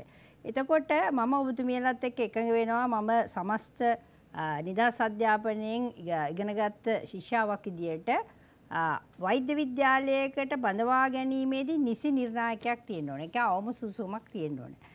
ඔබතුමියලාගේ රජය කාලේ ඇයි ඒ නිසි නිර්ණායකය දාලා අවම සුදුසුකම මේ තියෙන්න ඕනේ සමාර්ථ කීයක් තියෙන්න ඕනද කියන ඒ නිර්ණායකය ඒ අවස්ථාවේදී ඇති නොකරපු එක. ඒක ගැන අදත් අපි කනගාටු වෙනවා ඒක නිවැරදි කරන්න බැරි තරම් ඒක දුර ගිහිල්ලා තියෙන. අවස්ථාවක්. එතකොට ඊළඟ කරුණු කාරණාව චතුර අපි දන්නවා අ, ලංකාව බොහොම අ, දිය- වෛද්‍යවරු විදිහට වෛද්‍ය වෘත්තිය විදිහට ලෝකයෙන් පිළිගත්ත වෘත්තියක්. ඒක- ඒකට හේතුව හොඳ සායනික පුහුණුවක් තියෙනවා. හොඳ එක්ස්පෝෂර් එකක් තියෙනවා. අ, වයි- ඒ කියන්නේ හොඳට රෝගීන් සහ මම හිතන්නේ මම විශේෂයෙන් කතා කරනවා අධිකරණ වෛද්‍ය විද්‍යාව සහ අ, අ, කමියුනිටි මෙඩිසින් කියන එක මහිතන්නේ ගත්තාම ලෝක අනිත් රටවලට වැඩිය වැඩි අපිට ඒ අධිකරණ වෛද්‍ය විද්‍යාව පිළිබඳ දැනීම සමාජ වෛද්‍ය විද්‍යාව පිළිබඳ දැනීම. එතකොට මේ අවස්ථාවේදී ඒ පියවරෙන් පියවර යනකොට ඒ දරුවන්ට මහිතනේ සායනික පහසුකම් වලට රෝහල් ඉල්ලුවා. එතකොට ඒ අවස්ථාවේදී ඒ අපේ රජය නෙවෙයි මේ. අපේ රජය නෙවෙයි. ඒ අවස්ථාවේදී සායනික පුහුණුව සඳහා හෝමග්ගම රෝහල අවිස්සාවල් රෝහල දෙන්න එකඟ වුණා. මං හිතන්නේ ඒක වෙන්න. මේ අපේ වර්තමාන රජයේ නේ මේ අවුරුදු එකමාර ඇතුළත සිද්ධ වෙච්ච දෙයක් නෙවෙයි ගරුමන්ත්‍රීතුමා. නඩු තීන්දුවක් නඩු තීන්දුවකි. එතකොට ඒක ලබා ගත්තා. ඊළඟ ප්‍රශ්නේ මං හිතන්නේ මමත් දකින අසාධාරණම සිද්ධිය තමයි චතුර මෙතන රජයේ වෛද්‍ය විද්‍යාලවලින් පිටවන ළමයිනුයි ඒ පෞද්ගලික වෛද්‍ය විද්‍යාලයෙන් පිටවන ළමයිනුයි සමාන කරාම ලොකු අසාධාරණයි. මොකද දක්ෂතාවය තියෙන ළමයි තමයි මෙරිට් එකේ කුසලතාවයේ තියෙන ළමයි තමයි ඉහළම ඉන්නේ. එතකොට මෙන්න මේ ගැටලුවත් එක්ක වර්තමානයේ අධිකරණයේ දුන්න තීන්දුවත් එක්ක තමයි මේ ගැටුම ඇති වෙලා තියෙන්නේ. මට අධිකරණයත් එක්ක අභියෝග කරන්න බෑ. අධිකරණයට අපි කතා කරන්න බෑ. මොකද අ, ඒකේ අ, තියෙනවා ආචාර ධර්ම පද්ධතියක්. ඒක නිසා විශේෂයෙන් කියන්න ඕනේ ආ, දරුවන් ඉදියට මමත් දකිනවා ආ, ඒ දරුවන්ට යම් අසාධාරණයක් කරන. හැබැයි අපේ ගරු මන්ත්‍රීතුමිය අර දරුවන්ගේ වසර මහිතන මේ හයක් හතක් ගිහිල්ල මේක අධ්‍යාපන නිව කළ එතකොට ඒ දරුවන්ගේ ඒ අධ්‍යාපනට ගත කරපු කාලයට වෙච්ච අසාධාරණයට කෞද වන්දි ගෙවන්නේ. ඇයි එදා ඒක නිවැරදි කරන්න බැරිුණේ ඇයි අද විතරක් මේ කතා කරන්න? ඇයි දැම් මෙතන කොතනද අතර කරන්න? දැන් ඒ දරුවන්ගේ අනාගතය වගකින් කවුද බාරගන්නේ? ඔබතු මියල කියනු මං මේ කතා කරන්නේ මම ඇත්තරම චතුර මේ අවස්ථාවේදි මං හිතන්නේ අපිට කාන්තාව විදියට අද එකතු වෙලා අපිට අද කතා කරන්න තියෙන්නේ අපි කාන්තාවන්ගේ අයිතිවාසිකම් කාන්තාව කොහොමද අපි සවි බලගන්නන්නේ කාන්තාවන්ට වෙන අසාධාරණකම් තමයි මං හිතන්නේ අපිට අද මේ විවෘත වෙලා තියෙන වේදිකාව නැතුව මේ පවතිච්ච රජයවත් විකුණන එකවත් වරාය විකුණන එකවත් මත්තල ගුවන් තොටුපළවත් එතන වෙච්ච දේවත් මෙතන වෙච්ච දේවත් නෙවෙයි මම හිතන්නේ අපේ ගීතා කුමාරසිංහ සහෝදර මන්ත්‍රීතුමිය ඔබතුමිය දන්නවා අපි කාන්තාව විදියට අපේ කාන්තා මන්ත්‍රීවරයන්ගේ සංසදය අපි යම් යම් මෙහෙවන් කරනවා. ඒ වගේ මාංශික උපදේශක කාරක සභාව කාන්තා අයිතිවාසිකම් තියෙනවා. අද අපිට තියෙන ලොකුම ප්‍රශ්නයක් තමයි චතුර අද අපි කාන්තාව ගත්තාම අපේ මං හිතන්නේ ලොකුම ප්‍රශ්නයක් ගීතා කුමාරසිංහ ගරු මන්ත්‍රීතුමියනි අපිට තියෙන ප්‍රශ්නයක් තමයි මේ පාසැල් විය ඉඳන් ලදරු විය ඉඳන් පාසැල් විය දක්වාම දරුවෝ විඳින අපචාර ක්‍රියාවලියන් ඊළඟට අවුරුදු 16 ඉඳන් 18 වෙනකන් දරුවෝ මොකද විවාහන වස්සේ අවුරුදු 18යි. ඒතකොට 16 18 අතරේ දරුවෝ ගැබ් ගැනීම නිසා වෙන අපහසුතාවය අපිට අන්නේ කාන්තා දිනේ මම හිතන්නේ අපිට කාන්තා රැකවරණය දෙන්න අපි අන්න ඒ වගේව තමයි අපි කාන්තාව එකතු වෙලා කරන්න ඕනේ. මොකද අපුරු 16 18 අතර ඔබතුමියන්ලා දන්නවා ඇති මේ වෙනකොටත් වසරකට 2000ක විතර ප්‍රමාණයක් අපේ දැරිවිය අතවරයට ලක් වෙනවා. ඉතින් මේ අසාධාරණ ක්‍රියාවලියන්ට කොහොම හරි අපි සියලු දෙනාම කාන්තා පක්ෂයේ විදියට එකතු වෙන්න ඕනේ. මොකද මෙතන නිල් පාට කොළ පාට කිසි දෙයක් නැහැ. අපිට කාන්තාව අසයිබයි. ඊළඟට මං හිතන්නේ අනිත් එක තමයි පොදු ප්‍රවාහන සේවාවල මං හිතන්නේ ඒක කතා කරොත් ගරුමන්ත්‍රීතුමිය මං හිතන්නේ අපි කතා කරලා ඉදිරි කාලෙදි පාර්ලිමේන්තුවේ ඉදිරි කරන්න බලාපොරොත්තු වෙනවා. පොදු ප්‍රවාහන සේවවලදී විඳින අපහසුතා, අපචාර, ලිංගික හිංසනය ගැන දැනුවත් කිරීම වැඩසටහන් වලට අපි යමුයි කියලා අපි සූදානම් වෙලා තිනවා. ඔබතුමී ඉන්නවා ඒකේ. ඔබතුමී දන්නවා ඒ සියල්ලම. අන්න ඒ වගේ වෙලාවක අපි ඔක්කොම එකට අත්වැල් වෙනගමු. මං හිතන්නේ නැත්තම් මේ මේ වේදිකාව අපිට වෙන දවසක අපිට රටේ වෙච්ච වැරදි, තියෙන වැරදි, වර්තමාන රජයේ බලයට පත් වෙලා මේ අවස්ථාවේදී තියෙන වැරදි හැමදාම කතා කරන මාතෘකා නෙවෙයි අපේ ගෞරවනීය සහෝදර මන්ත්‍රීතුමියන්ගෙන් ඉල්ලන්නේ අපි සියලු දෙනාම අපි කාන්තාව. අපිට අද තමයි කිව්ව නිසා මම හිතනවා මට චුට්ටි අවස්ථාවක් දෙන්න.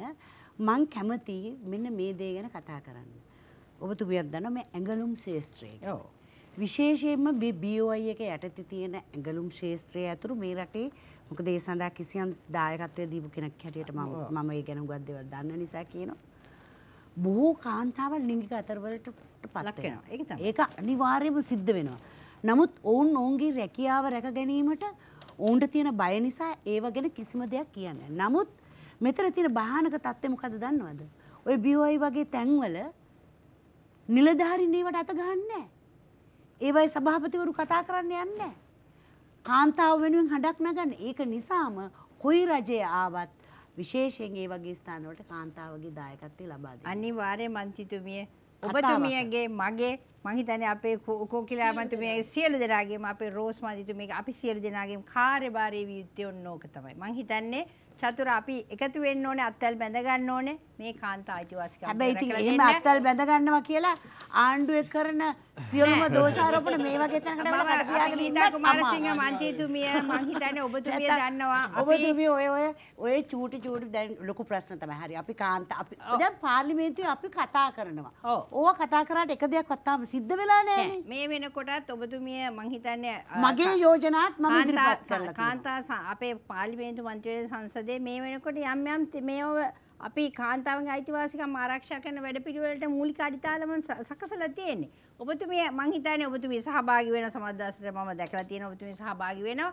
ඒ ඒ අවස්ථාවේදී එන්න අපිත් එක්ක නිරතුරුවම එන්න. මොකද අපේ කාර්යභාරය වෙන්න ඕනේ මම හිතන්නේ චතුර අපි කාන්තාව විදිහට මහජන මහජන නියෝජිතයෝ විදිහට අපේ කාන්තාවක් අපිව කාන්තාව හරි මහජනතාව හරි අපිව පත් කරලා එවන්නේ උත්තරීතර සභාවල්වලට අපෙන් යම් මෙහෙයක් වෙන්න. ඉතින් මං හිතන්නේ අද මේ වේදිකාව අපි කවදත් දකින වේදිකාව වගේ බඩු මිලවත් මත්තල ගුවන් තොටපොළවත් වරායවත් ඒව නෙවෙයි වෙන්න ඕනේ. අපිට වෙන්න ඕනේ දෙයක් තමයි අපි කාන්තාව විදිහට. අපි පාර්ලිමේන්තුවේ අපි දරුවන්ට වෙන හිංසනය ගැන විශේෂම කාන්තා දරුවන්ට වෙන හිංසනය ගැන කතා කරන්න අපිට වෙනම අවස්ථාවක් දෙන්න. අද අපි කතා කරන්න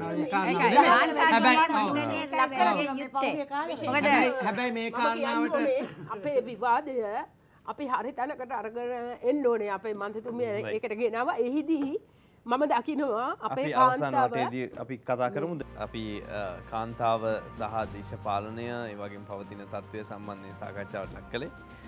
අපි අවසාන අවස්ථාවට එළමිලා තියෙන්නේ අවසාන වටේ. අ, සාමාන්‍යයෙන් හිමයි වෙන්න. ඉතින් අපිට පුළුවන් අවසාන අවස්ථාව අපි කොතනින්ද නවතින්න කියලා ඔබතුමීලට තීරණය කරන්න කොකිලා හර්ෂණ මන්ත්‍රතුමිය මහිතන එතුර ඇතරම තුසිතා විජමාන මංචතුමය ගෙනපු කාරණ මහිතන අපි වෙනම දවසක් කරන කතා කරන්න මොද අපේ සාකච්ඡාව යන අතුරදේ මැද්දෙන් පැනල කතා කරන්න ඕන කාරණාවක් නෙවෙයි. අද අපි කතා කරන අපමාත්‍රකා දිහා බැලුවොත් අපි රටක් හැටියට යහපාලනයේ බලාපොරොත්තු වෙලා මේ රටේ දහසක් ජනතාව දුන්න ඡන්දයට අද කිසි වටිනාකමක් ලැබිලා නැහැ. ඒ නිසා මං හිතනවා කාන්තා දිනේ ක- පළවෙනි කාරණාව වෙන්න ඕනේ මං විශ්වාස කරන ඉස්සෙල්ලාම කාන්තා දේශපාලන අයිතිවාසිකම් වැඩි කරන්න කටයුතු කරන්න කාරණාව අපි ප්‍රමුඛතාවයට එනවා වගේම රටේ අනිත් පැත්තෙන් කාන්තාව නිදහසේ ජීවත් වෙන්න බයක් එකක් නැතුව ජීවත් වෙන්න පුළුවන් වාතාවරණයක් තියෙනකොට ඒ තමන්ගේ පවුල් කුටුම්බය පුදුර සතුටින් ජීවත් වෙන්න පුළුවන්කමක් තියෙනවා. හැබැයි අද වර්තමානයේ ඒ සියල්ල එකින් එක එකින් එක එකින් එක එකින් එක ගිලිහිලා යනවා. අපි දැක්කහම අ, පහුගිය කාලයක් වන තුළ අපි මත් හම්බන්තට වරාය හැදෙනකොට අපි හීන දැක්කා සිංගපුරට හාගේ දියුණු ගුණ රාජ්‍යයක් බවට අපි රට පත් වෙන බෑ. මොකද ඒක වෙන්න පුළුවන්. සිංගප්පූරුව දියුණුනේ මොනවත් හින්දාද මේ වරාය නිසා. සිංගප්පූරුවේ වෙන සම්පත් නැහැ. අපි හම්බන්තොට හැදෙනකොට අපි හීන දැක් අපේ දරු පැටවුනේ ඒකේ වැඩ කරන හැටි. අපේ දරු පැටවුන්ගේ අනාගතය ඒකත් තරහා දියුණු හැටෙන් මේ අර මන්ත්‍රීතුමිය කිව්වා මෙතුමේ ඉස්කෝලේ යන කාලේදී අපේ රට තිබුණේ අ, දියුණු වෙමින් පවතින රට නෑ අපි හිටියේ තුන්වෙනි ලෝකේ රටක් හැටියට. දියුණු වෙමින් පවතින පට- රටක් බවට පත් වුණේ පහුගිය කාලයක් වාර තුළ. අපි හීන දැක්කා අපේ දරු පැටවුන්ගේ අනාගතය ගොඩනගන කාලේ වෙනකොට එයාගේ අවුරුදු 20 20 25 වෙනිද්දී රටතුර ක්‍රියාත්මක වුණ වැඩපිළිවෙලත් එක්ක මේක දියුණු වුණු රටක් බවට පත් වෙනවා දැන්. ඒකට සැලැස්මක් සහ වැඩපිළිවෙලක් ක්‍රියාත්මක වුණා. හැබැයි අද කාන්තාවන්ගේ ඒ සියල්ල එකින් එක සූරගෙන කමින් යනවා. අර රත්තරන් ටික ගැන කවුරුත් කතා කරන්නේ නැත්නම් මේ රත්තරන් බඩු ටික උගස් කරලා දෙදස් දහතුනේ ඔක්තෝම්බර් විස්සට කලින් දෙදස් දහතුනේ ඔක්තෝබර් විස්සට කලින් උගස් කරපු රත්තරන්ටික විතරයි මේ අය නිදහස් කරන්න දුන්නේ. හැබැයි මේවා එකක්වත් නිදහස් කරගන්න හම්බුන්නේ නැහැ. පුංචි කාරකේ යන්න හීන දැකපු නංගි ලක්ෂ 13ට තිබුණ කාරක දැන් ලක්ෂ 23ට ගිහිලා. ෆොක්සකන් කමාගම ගෙනනවා කියන මේ කාන්තාවට බලාපොරොත්තු විදිහට කුරුණෑගල දිස්ත්‍රික්කේ කාන්තාව හීන දැක්කා. තමන්ගේ ස්වාමි පුරුෂයා කොහොමද යන්නේ වැඩට කියලා. මේ සියල්ල බොරු කරලා ගෙනිච්ච මේ ආණ්ඩුව ගෙදර අරින්න කාලය ඇවිල්ලා තියෙනවා. අපි ඒකට දැස් වෙලා ඉන්නවා. කාන්තාවන් හැටියට ශක්තිමත්ව රටට ආදරය කරන ඔබේ දරු පෙටිය ගැන අනාගතයට ආදරය කරන නායකත්වයත් එක්ක එකතු වෙලා මේ ගමන යන සූදානම් වෙන අද කාන්තා දිනේ මං හිතනවා අපි අපේ රටට ආදරේ නම් පෙරට එන්න ඕනේ. එහෙම නැත්නම් අපේ දරුවට අනාගතයක් නෑ. බෙන්ම ස්තුතියි ඔබතුමීට රෝස්ම අන්ද මන්ත්‍රතුමි ඇත්තවසෙන්ම කෙටි කාල ඇත්තියෙන නිසා මම මේ අපේ කාන්තා දිනයට අදාළව අපේ සාකච්ඡාව පුද්ගල දේශපාලනයකට ලඝු කරන්න නැතුව මං කතා කරන්න කැමති සියයට පනස් දෙයක් වන කාන්තාව ජාතික ආර්ථිකයට දායක කර ගැනීම වැඩ පිල්ලක් අවශ්‍යයි. අපි මේ වාදය අතරතුර පවතින රජයට සහ නිලධාරි ඇතුළු රාජ්‍යතන්ත්‍රය සියලු දෙනාට ඒ වගේම පෞද්ගලිකාන්සේ සියලු දෙනාට අපි කියන්නේ රටක් හැටියට ඉස්සරහට යන්න නම් මේ 52ක් වන කාන්තාවන් 150ක් වන කාන්තාවන් ජාතික ආර්ථිකයට අපි දායක කරගන්න ඕන රටක් දියුණු වෙන්න. මොකද රටෙන් භාගයක් වැඩක් නොකර නිකන් ඉන්නවා නම් ඒ ආර්ථිකයට දායකත් වෙන්න නැත්නම් ඒ රට දියුණු කරන්න බෑ. අපිට එහෙම දැක්මක් තියෙනවා. අපි ඒ දැක්ම ඔස්සේ තමයි අපි ගමන් කරන්නේ. ඒ වගේම අපි බලාපොරොත්තු වෙනවා මේ කාන්තාව රැකියාවක් කරන්න පටන් ගත්ත ගාම දරුවා ගෙදර තියලා යන්න බෑ. ඒ දරුවට නිසි රැකවරණයක් අවශ්‍යයි. එතන කාන්තා ප්‍රචාර දූෂණ වලට මූලික හේතුවක් තමයි මව සහ පියා දෙන්නම රැකියාවල නිරත වෙනවා. ඒ අයගේ දක්ෂතා සමාජයට ප්‍රෝජනයක් වෙන විශේෂයෙන් අපි දේශපාලනය කරන අපිට පැය 24ම ගත කරන්න වෙන්නේ සමාජයේ කටයුතුත් එක්ක. එතකොට අපේ අලුත් වැඩපිළිවෙලක් දියත් වෙන්න ඕන දරුවා රැක බලා ගැනීම, කාන්තාව රැක බලා ගැනීම, මහලු මව පියා රැක බලා ගැනීම ඒ උසස් මට්ටමක වැඩපිළිවෙලක් දියත් වෙන්න ඕනේ.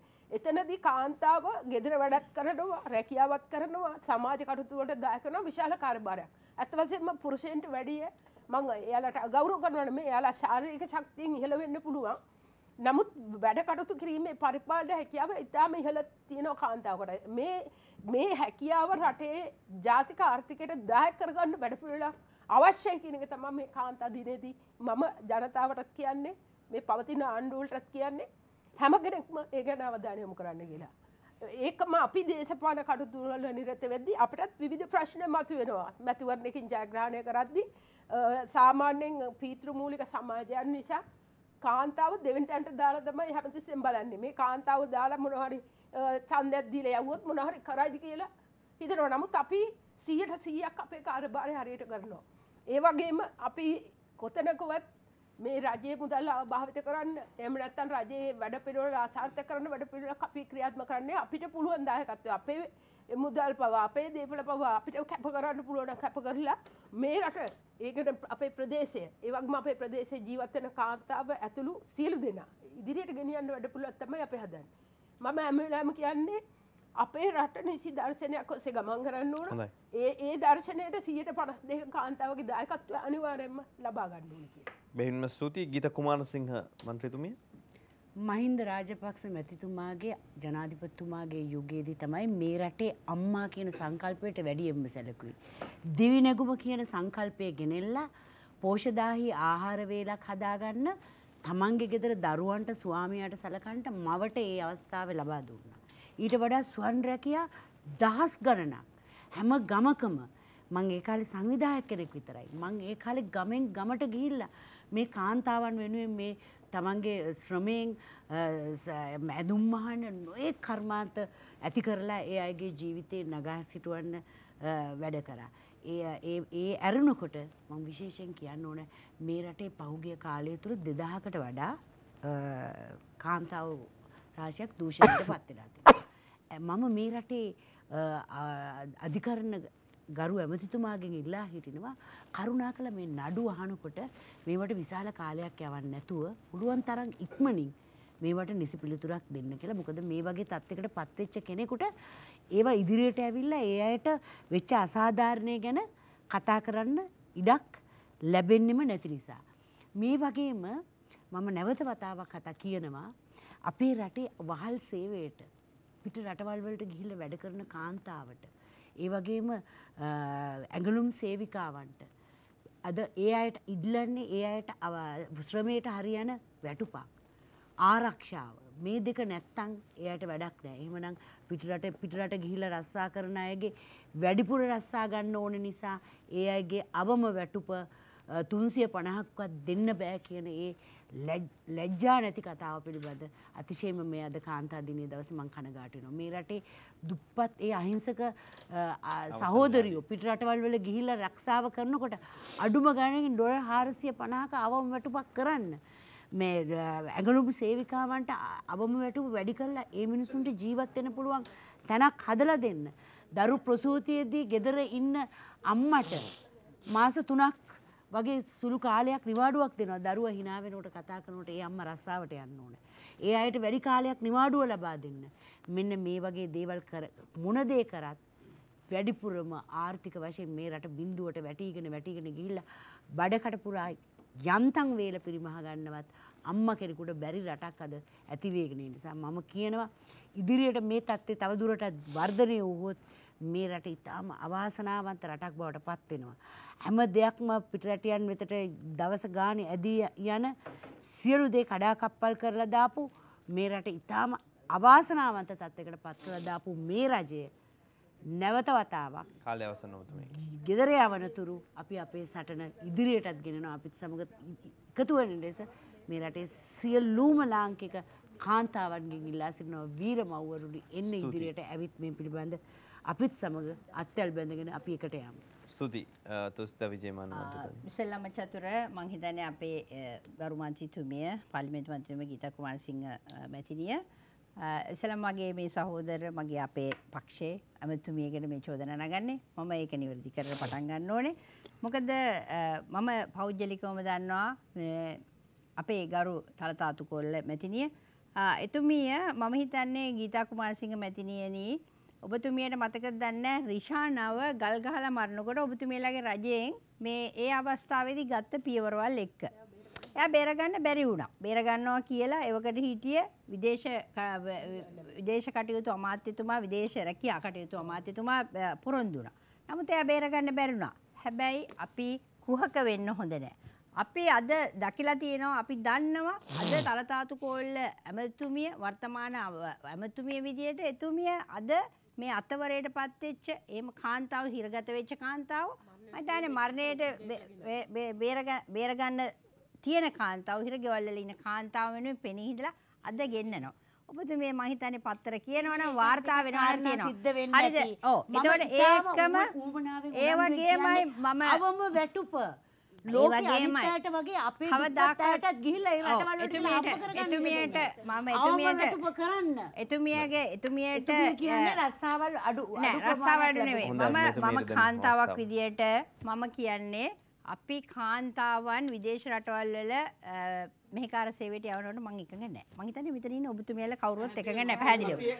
අපි අපිට මම මම ඉල්ලන්නේ අපි කාන්තාව විදියට එකතු වෙලා වෘත්තීය පුහුණු දීලා. අද රටේ ලෝකේ තියෙන වෙනත් අවශ්‍යතාව කියන්නේ රැකියාව තියෙනවා රැකියාව දොරටු තියෙනවා රැකියාව මම්පෙත් තියෙනවා. අන්නේ වෘත්තීය පුහුණු ටික දෙන්න. මොකද අපේ කාන්තාව ඇඟලුම් ශේෂ්ත්‍රයටවත් මේ තේදලු කඩන්නවත් රබර් මේ රබර් ගස්සට ඇවිදින්නවත් එහෙම නැත්තම් මේ විදේශ රටවල මෙහිකාර සේවය යොදවන්න නෙවෙයි. අපි පටන් ගන්න ඕනේ අපේ කාන්තාවන්ගේ සමා අධ්‍යාපන සූසුකම් අනුව වෘත්තීය පුහුණුවක් එක දීලා මතන්නේ තමන්ගේ අධ්‍යාපන සුසුකම ඕ එහෙමනම් ඇයි අඩු කරන වෘත්තීය පුහුණුව අනුව ඔව්. වෘත්තීය පුහුණුවත් එක්ක දීලා මේ ලෝ රටේ තියෙන රැකියා අවශ්‍යතාවයට ලෝකේ තියෙන රැකියා අවශ්‍යතාවයට අපි පාසලේ ඉඳන් ඉස්කෝලේ ඉඳන්ම මං හිතන්නේ ඒක අපි පුහුණු කරොත් වඩාත් ඵලදායි. ඉතින් මම මේ අවස්ථාවේ විශේෂයෙන්ම චතුර මං හිතන්නේ අපේ මෙවර කාන්තා දිනේ තේමාව තමයි තුන්කල් දකින්නේ එතකොට සවියෙන් දිනන්නේ කියන එක. එතකොට මං හිතන්නේ තුන්කල් දකින අපි අපි කාන්තාව විදියට අපි හැමෝම තුන්කල් දකින්න අපි මොකද අතීතයේ වර්තමානයේ අනාගතයේ අපි අපි අනාගතයේ දේ තමයි දැන් බලන්නේ. එතකොට සවියෙන් තමයි අපි මේ සියලු දෙනා මෙතන ඉන්නේ. මොකද අපි විවිධ අභියෝග වලට ලක් වෙච්ච කාන්තාව. මං හිතන්නේ අපි දෙපැත්තක හිටියත් කාන්තාව විදියට අපිට විවිධ අභියෝගවලට ලක් වුණා. සියලුම අභියෝගයන් විඳගෙන තමයි අපි මෙතන ඉන්නේ. ඒ හින්දා මම මේ අවස්ථාවේදී චතුර අපේ ගරු මංචීතුමියල්ලගේ ඉල්ලනවා මොකද එක පාරට ළමෙක් ඉපදිච්ච ගමන් ඇවිදින්න බෑ. අපිට අවුරුදු එකහමාරයි බලය දීලා. අවුරුදු එකහමාරයි. ඇවිදින්න එක පාරට ඇවිදින්න බෑ. ඉස්සෙල්ලා නෑ. ඉස්ස ඇවිදින්න පුළුවන් නම් ඔබ ඔබ ඔබතුමියල්ලා ඔබතුමියල්ලා නෑ මුණිය නෙමෙයි. ලදරුවට අඩු කරන්න බෑ. ඔබතුමියල්ලාට අවුරුදු 20ක් සම වෙන්න. මේ දරුවා ඇවිදින්න බැරිද කොහොමද? නෑ අවුරුදු නෑ ලදරුවට නැගිටිනවා. නැගිටිනවා. නෑ. හොඳයි අපි අවසන් කරමු ස්තුතියි. අපිට දෙන්න කිව්වා. මට කරුණා කරලා දෙන්න මම. ඔබතුමියට අපි කරේ අවසන් නෑ. කරමු. අවුරුදු 20ක් පාලනය කරපු ඔබතුමියල්ලට මේ කාර්ය කරන්න බැන්න අවුරුදු එකහමාරක්. අපිට මේ දීලා මං හිතන්නේ අපි. ප්‍රශංසනීය ඕ ප්‍රශංසනීය සේවයක් අපි කළා අ, කතා කරේ පවතින දේශපාලන තත්ත්වය ගැන බෙහින්ම ස්තුතිවන්ත වෙනවා ඔබතුමියලට කෝකිල හර්ෂණි මන්ත්‍රතුමිය එක්සත් ජනතා නිදහස් සන්ධානයේ පළාත් සභා මන්ත්‍රතුමිය සම්බන්ධව බොහොම ස්තුතියි ඔබතුමියට. ඒ වගේම එක්සත් ජනතා නිදහස් සන්ධානයේ පාර්ලිමේන්තු මන්ත්‍රී ගීතා කුමාරසිංහ මහත්මිය සම්බන්ධ වුණ අපිත් එක්ක බොහොම ස්තුතියි ඔබට. ඒ වගේම එක්සත් ජාතික පක්ෂයේ පාර්ලිමේන්තු මන්ත්‍රී තුසිතා විජේමාන්න මන්ත්‍රීතුමිය සම්බන්ධ වුණ බොහොම ස්තුතියි ඔබට. ඒ වගේම අ, එම පක්ෂයේම පාර්- අ, එම පක්ෂයෙන් පළාත් මන්ත්‍රී රෝස් ප්‍රනාන්දු මන්ත්‍රීතුමිය සම්බන්ධ වුණ බොහොම ස්තුතියි ඔබට. අපි එමනං ඔබතුමිල සිරු දෙනාටමත් රටේ සමස්ත කාන්තා පරපුටත් අද සුභ පතමින් තුන්කල් දකින්න සවියෙන් දිනන්න සුභ පතමින් අපි වැඩ ස්ථානවසන් කන හෙට හවස දෙකට ඔබට යළිත් අද දෙන්න 24 සෙවන් අධිකාවෙන් බාධ පිටියන ලබිය හැකි.